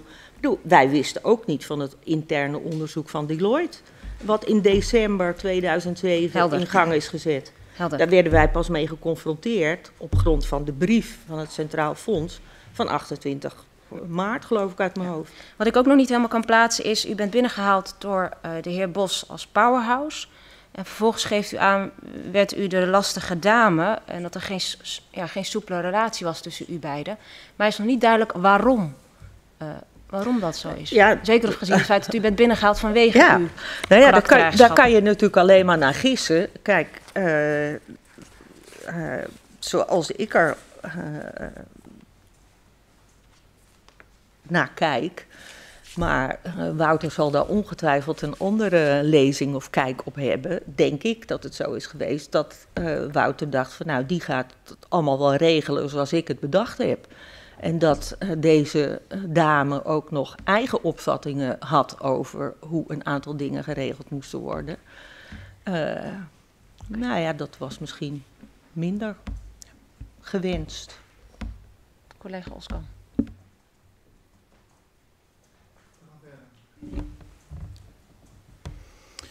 Uh, net kwam het bij de toetsgroep al even naar voren om, om, te kijken van wanneer wordt de minister nou gewaarschuwd als er gedonder in de tent is.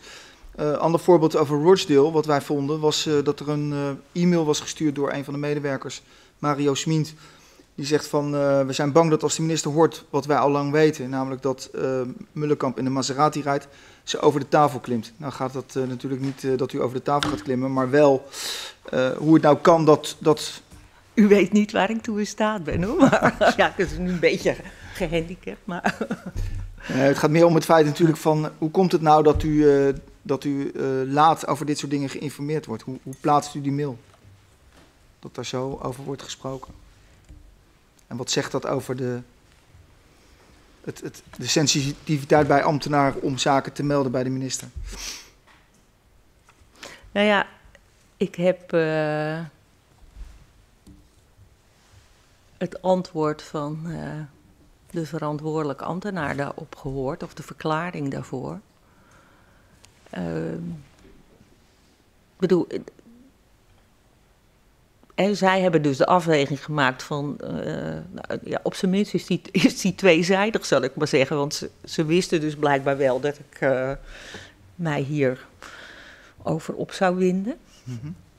Uh, maar ja, zij hebben ook gedacht van. Hij, wat was het ook alweer? Hij is met een rijke vrouw getrouwd. En ja. we wisten niet dat hij er op kosten van de zaak in reed. Dus, Precies. Ja.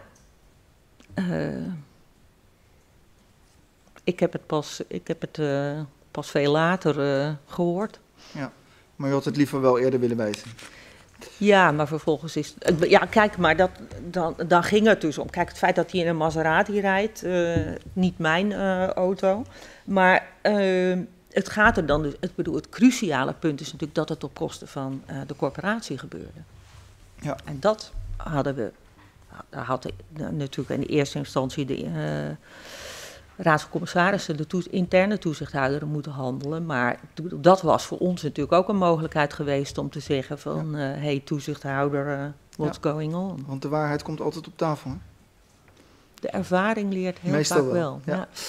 Nou, mevrouw Bertram was in de tijd directeur-generaal bij u. En uh, zij is hier ook geweest. En ze zei van ja, het ministerie wist eigenlijk niet dat Woonbron eind 2006 65 miljoen had geïnvesteerd. Hè. Dat is wel uh, behoorlijk meer dan die 6 miljoen waar het eerst over ging. Uh, ondanks, want daar hebben we natuurlijk ook naar mevrouw Bertram gevraagd, hoe gingen die contacten dan? Dat, dat er een accounthouder was voor Woonbron, namelijk Jan Heijn de Vrede. En dat die steeds de contacten met Kromwijk of andere mensen van Woon, Woonbron onderhield. Hoe ziet u dat? Um, is het een soort van misleiding door Woonbron? Als je daar ja. dan zo laat achter komt?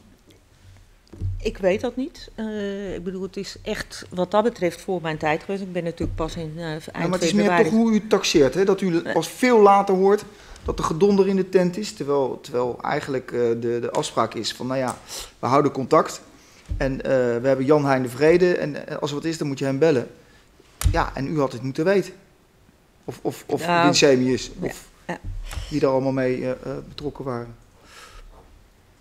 Nou ja, uh, het, het, klopt natuurlijk gewoon niet, feitelijk. Ik bedoel, uh, of dat dan, of je, ik wil daar, ja, etiket misleiding, dat vind ik een heel zwaar woord, maar het klopt gewoon niet. Ik bedoel, zo'n overschrijding, dat had gewoon eerder gemeld moeten worden. En het is gewoon te laat gebeurd. Oké, dan gebeurt er wel wat op het ministerie, want de regelingen voor de jaarrekeningen zijn per 28 oktober 2008 aangescherpt voor woningcorporaties. Was het nou toeval of was het door uh, wat er speelde met, die, met, die, met het stoomschip. Direct gevolg van Even wachten, dan moet u mij even helpen. Welke regelingen zijn er dan aangescherpt? Op 28 oktober, dat heb ik even niet paraat. over de jaarrekening, dat het, dat het helderder moest en transparanter, duidelijker In de zin van verantwoording Ja, eh, afleggen. naar het ministerie, zodat het ministerie ook weet wat er speelt. Ja, dat zal ongetwijfeld. eh, ik heb dat niet meer zo paraat, maar ik kan me voorstellen dat dat ongetwijfeld eh, een rol heeft gespeeld. Omdat in de jaarverslagen ja, dus niet altijd alles gemeld werd. Want dit is dus niet gemeld hè, eh, in het jaarverslag. Herinnert, nee, maar dan vraag ik het anders. Herinnert u zich een discussie op het ministerie dat we zeiden van, nou ja, we krijgen te weinig informatie binnen, zeker over die nevenactiviteiten. We moeten daardoor dit, dit scherpen. Of was er gedoe over, die, over dat schip?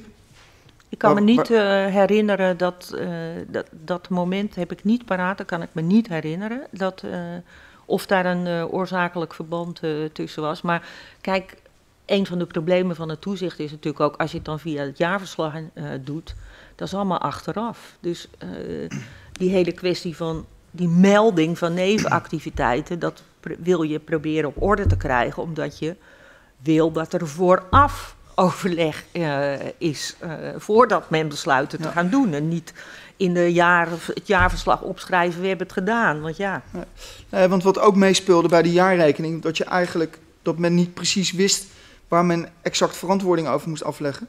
Eh, gelet op de activiteiten, de nevenactiviteiten en de verbinding daartussen.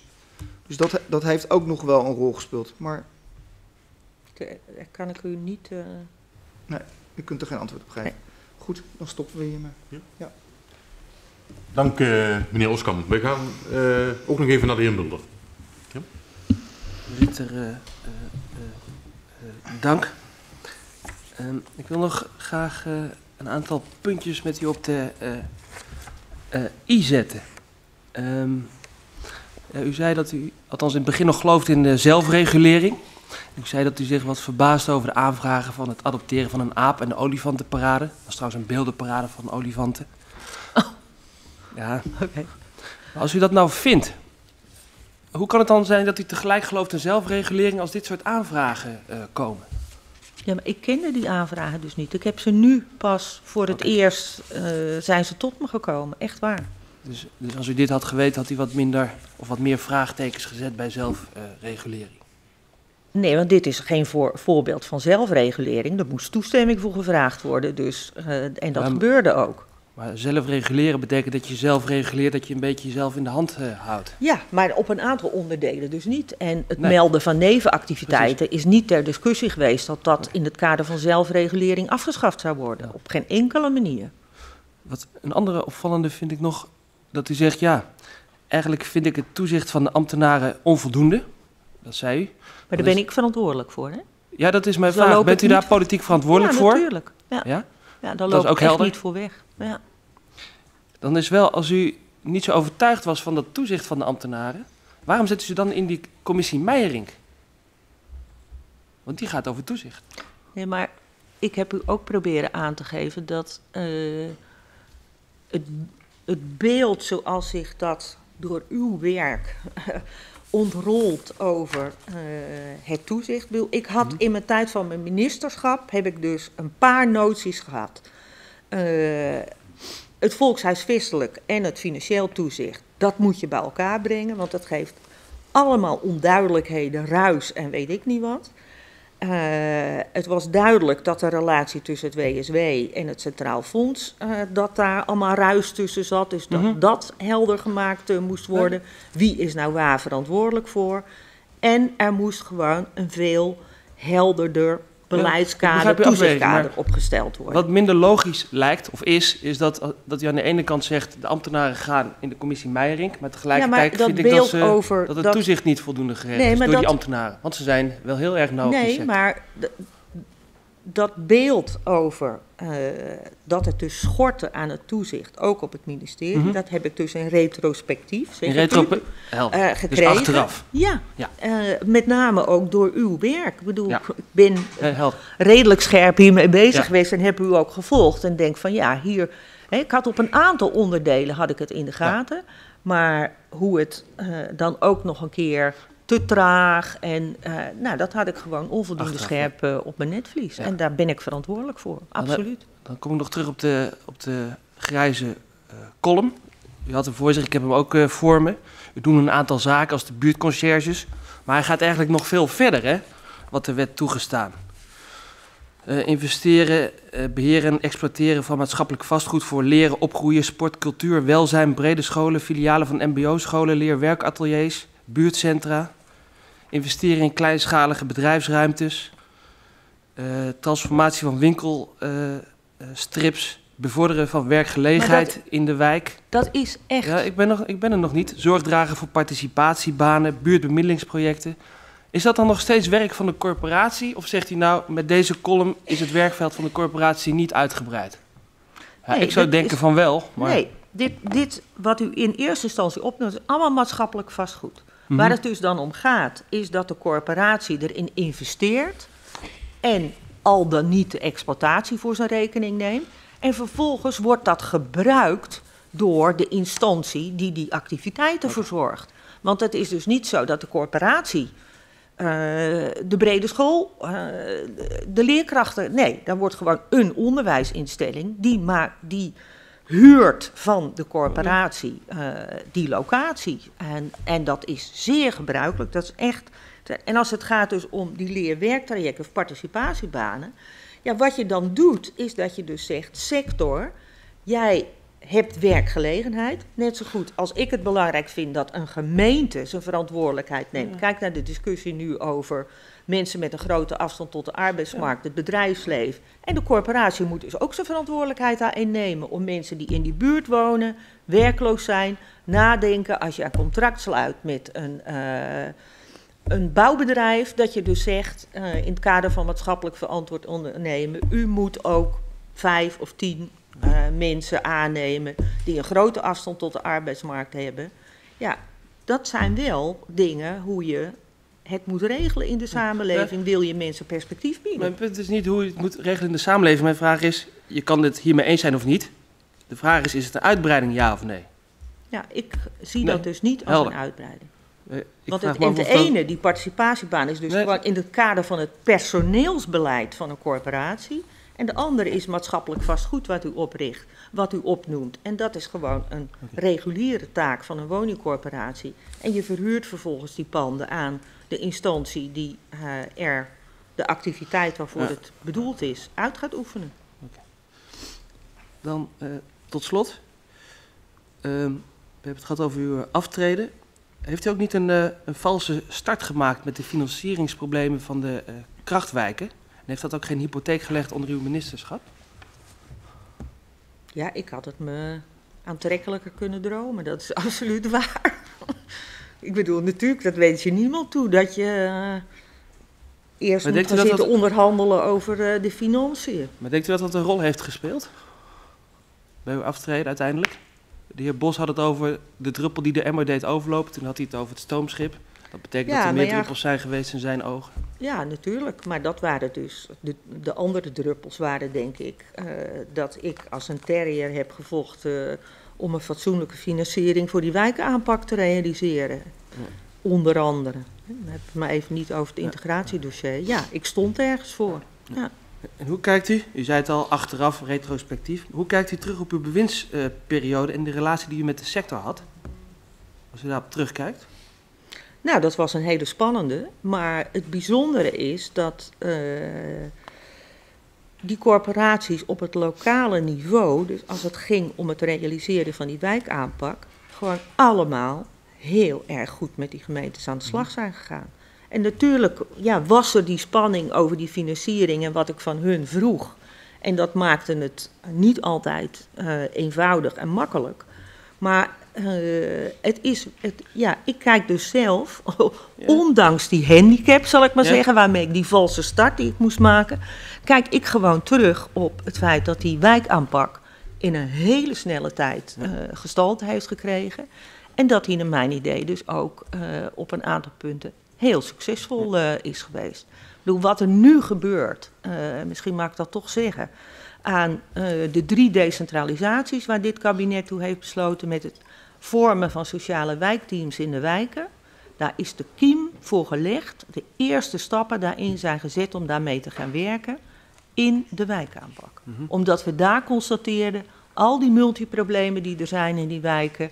Er cirkelen tig organisaties rond een mhm. individu of rond een gezin. Verspilling van geld, dat moet je samenbrengen, dat moet je bundelen en stroomlijnen. Dat, daar zijn we toen mee begonnen. En daar bouwen die gemeentes die daarbij betrokken waren nu op voort. En verder kunt u terugkijken en zeggen, wat heeft u nou geleerd over de sector, over het beleid, over de toezichthouders, over het ministerie? Nou, toezichthouder heb ik denk ik al mhm. eh, genoeg over gezegd. Als je kijkt naar de sector, ja. Uh, die is. Uh, ik hoop dat die nu tot zinnen komt. ik denk mhm. ook dat dat mhm. gaande is, ook als je de heer Calon ziet. Kijk, er is natuurlijk een soort. Maar ik vind dat je dat niet alleen de sector aan kan rekenen. Ik vind ook dat we, de politiek, wij allemaal, de samenleving, daar ook een verantwoordelijkheid in hebben.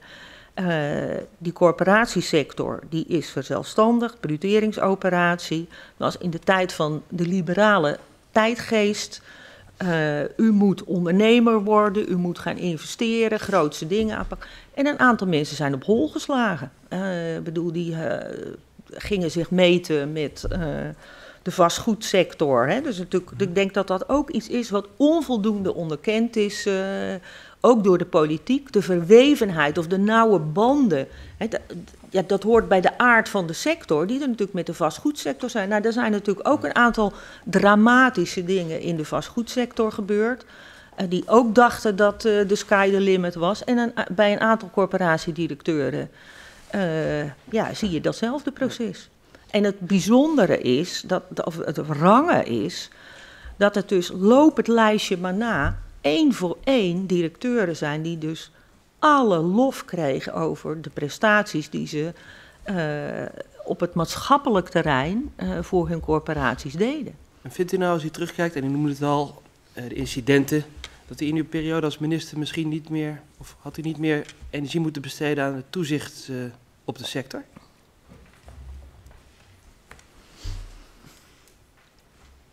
Maar die incidenten, uh, toch even. Uh, want er wordt een soort, dreigt een soort beeld gecreëerd te worden alsof die incidenten samenhangen met mijn wijkaanpak. En dat bestrijd ik echt krachtig. Uh, want al die incidenten uh, en het handelen van uh, die corporaties waar die incidenten zijn geweest, allemaal begonnen voor de wijkaanpak, mhm. voordat ik minister werd. Mm -hmm. dus het is absoluut niet zo dat door mijn inzet op die wijkenaanpak die incidenten zijn ontstaan. Uh, mijn, vra mijn, vraag was niet de, de wijkaanpak, maar had u, als u terugkijkt, niet meer aandacht en tijd moeten besteden aan de toezicht op de sector? Ja, met de, de kennis van nu kan je uh, misschien zeggen dat dat verstandig was geweest, maar... maar met de uh, kennis van toen niet? Nee, want zo. Ik bedoel, nee, nee, dat is niet helemaal waar. Want ik heb natuurlijk beseft dat dat een prioriteit was. Mhm. En in dat akkoord met Edis. Ik bedoel, uh, ik begon eind februari. Ik, ik, kan zeggen van het is een ontzettend gedoe geweest. Maar in september had ik wel dat akkoord met Edis. Uh, waarin dus stond, we gaan binnen vier maanden zorgen dat ook uh, die toezicht, dat toezichtsarrangement verder uitgewerkt gaat worden en vorm gaat krijgen. Dus ja, er kan mij veel verweten worden, maar tempo geloof ik niet. Dank. Dank u wel. Mevrouw Vogelaar, we komen aan het einde van het openbaar verhoor. U zei net, uh, u zat als een terrier bovenop. Dat is even blijven hangen bij mij. Maar u zei in het verhoor nog een aantal andere zaken. En even heel kort, over de hele financiering van uw takenpakket als minister. In het begin zei u van, daar zat ik toch wel naïef in, uh, achteraf kijkend, uh, wat mij wel of niet wat meegegeven aan centen. Over die commissie Meijering zei u zelf letterlijk, ja, daar ben ik toch onvoldoende scherp geweest hoe dat nou verder werd opgepakt en uitgewerkt. De toetsgroep van het ministerie, daarvan zei u, die ken, die ken ik niet. En bij die casus Woonbron en het debat zei u uiteindelijk letterlijk, ja, daar zijn we toch onvoldoende diep ingedoken. Als ik nou die lijn van wat ik net allemaal aanhaal zet tegenover uw opmerking net over die terrier die daar op die sector uh, zat. Wat is nou de rode draad van uw ministerschap die we moeten zien? Ja, ik vind uw samenvatting van hetgeen we gewisseld hebben niet helemaal recht doen aan uh, de accenten die ik heb proberen te leggen. Dus uh, ik zie in ieder geval niet uh, als de rode draad uh, dat ik uh, er niet genoeg bovenop heb gezeten. ik heb u gezegd, met hoe ik nu op dingen terugkijk, zou ik inderdaad met de kennis van u en met het werk wat u ook als commissie verricht, een aantal dingen anders hebben gedaan. Maar ja, zo, zo uh, gaat het. Maar ik kan niet zeggen van, uh, ik had het anders moeten doen. Want ja, ik kijk nu terug, dat vraagt u mij om te doen. En dan zeg ik inderdaad, met, als ik die kennis die ik nu had, over het bestaan van de toetsgroep, over het feit dat we meer de diepte in hadden moeten gaan, over die business cases uh, van een woonbron. Een aantal van dat soort voor, natuurlijk, nu, maar toen was dat niet aan de orde. En nou ja, oké, zo is het gegaan. En, uh, zo is het gegaan. kan het niet mooier maken. Ik ook niet, dus uh, ik uh, sluit de vergadering. Dank u wel, mevrouw Vogelaar.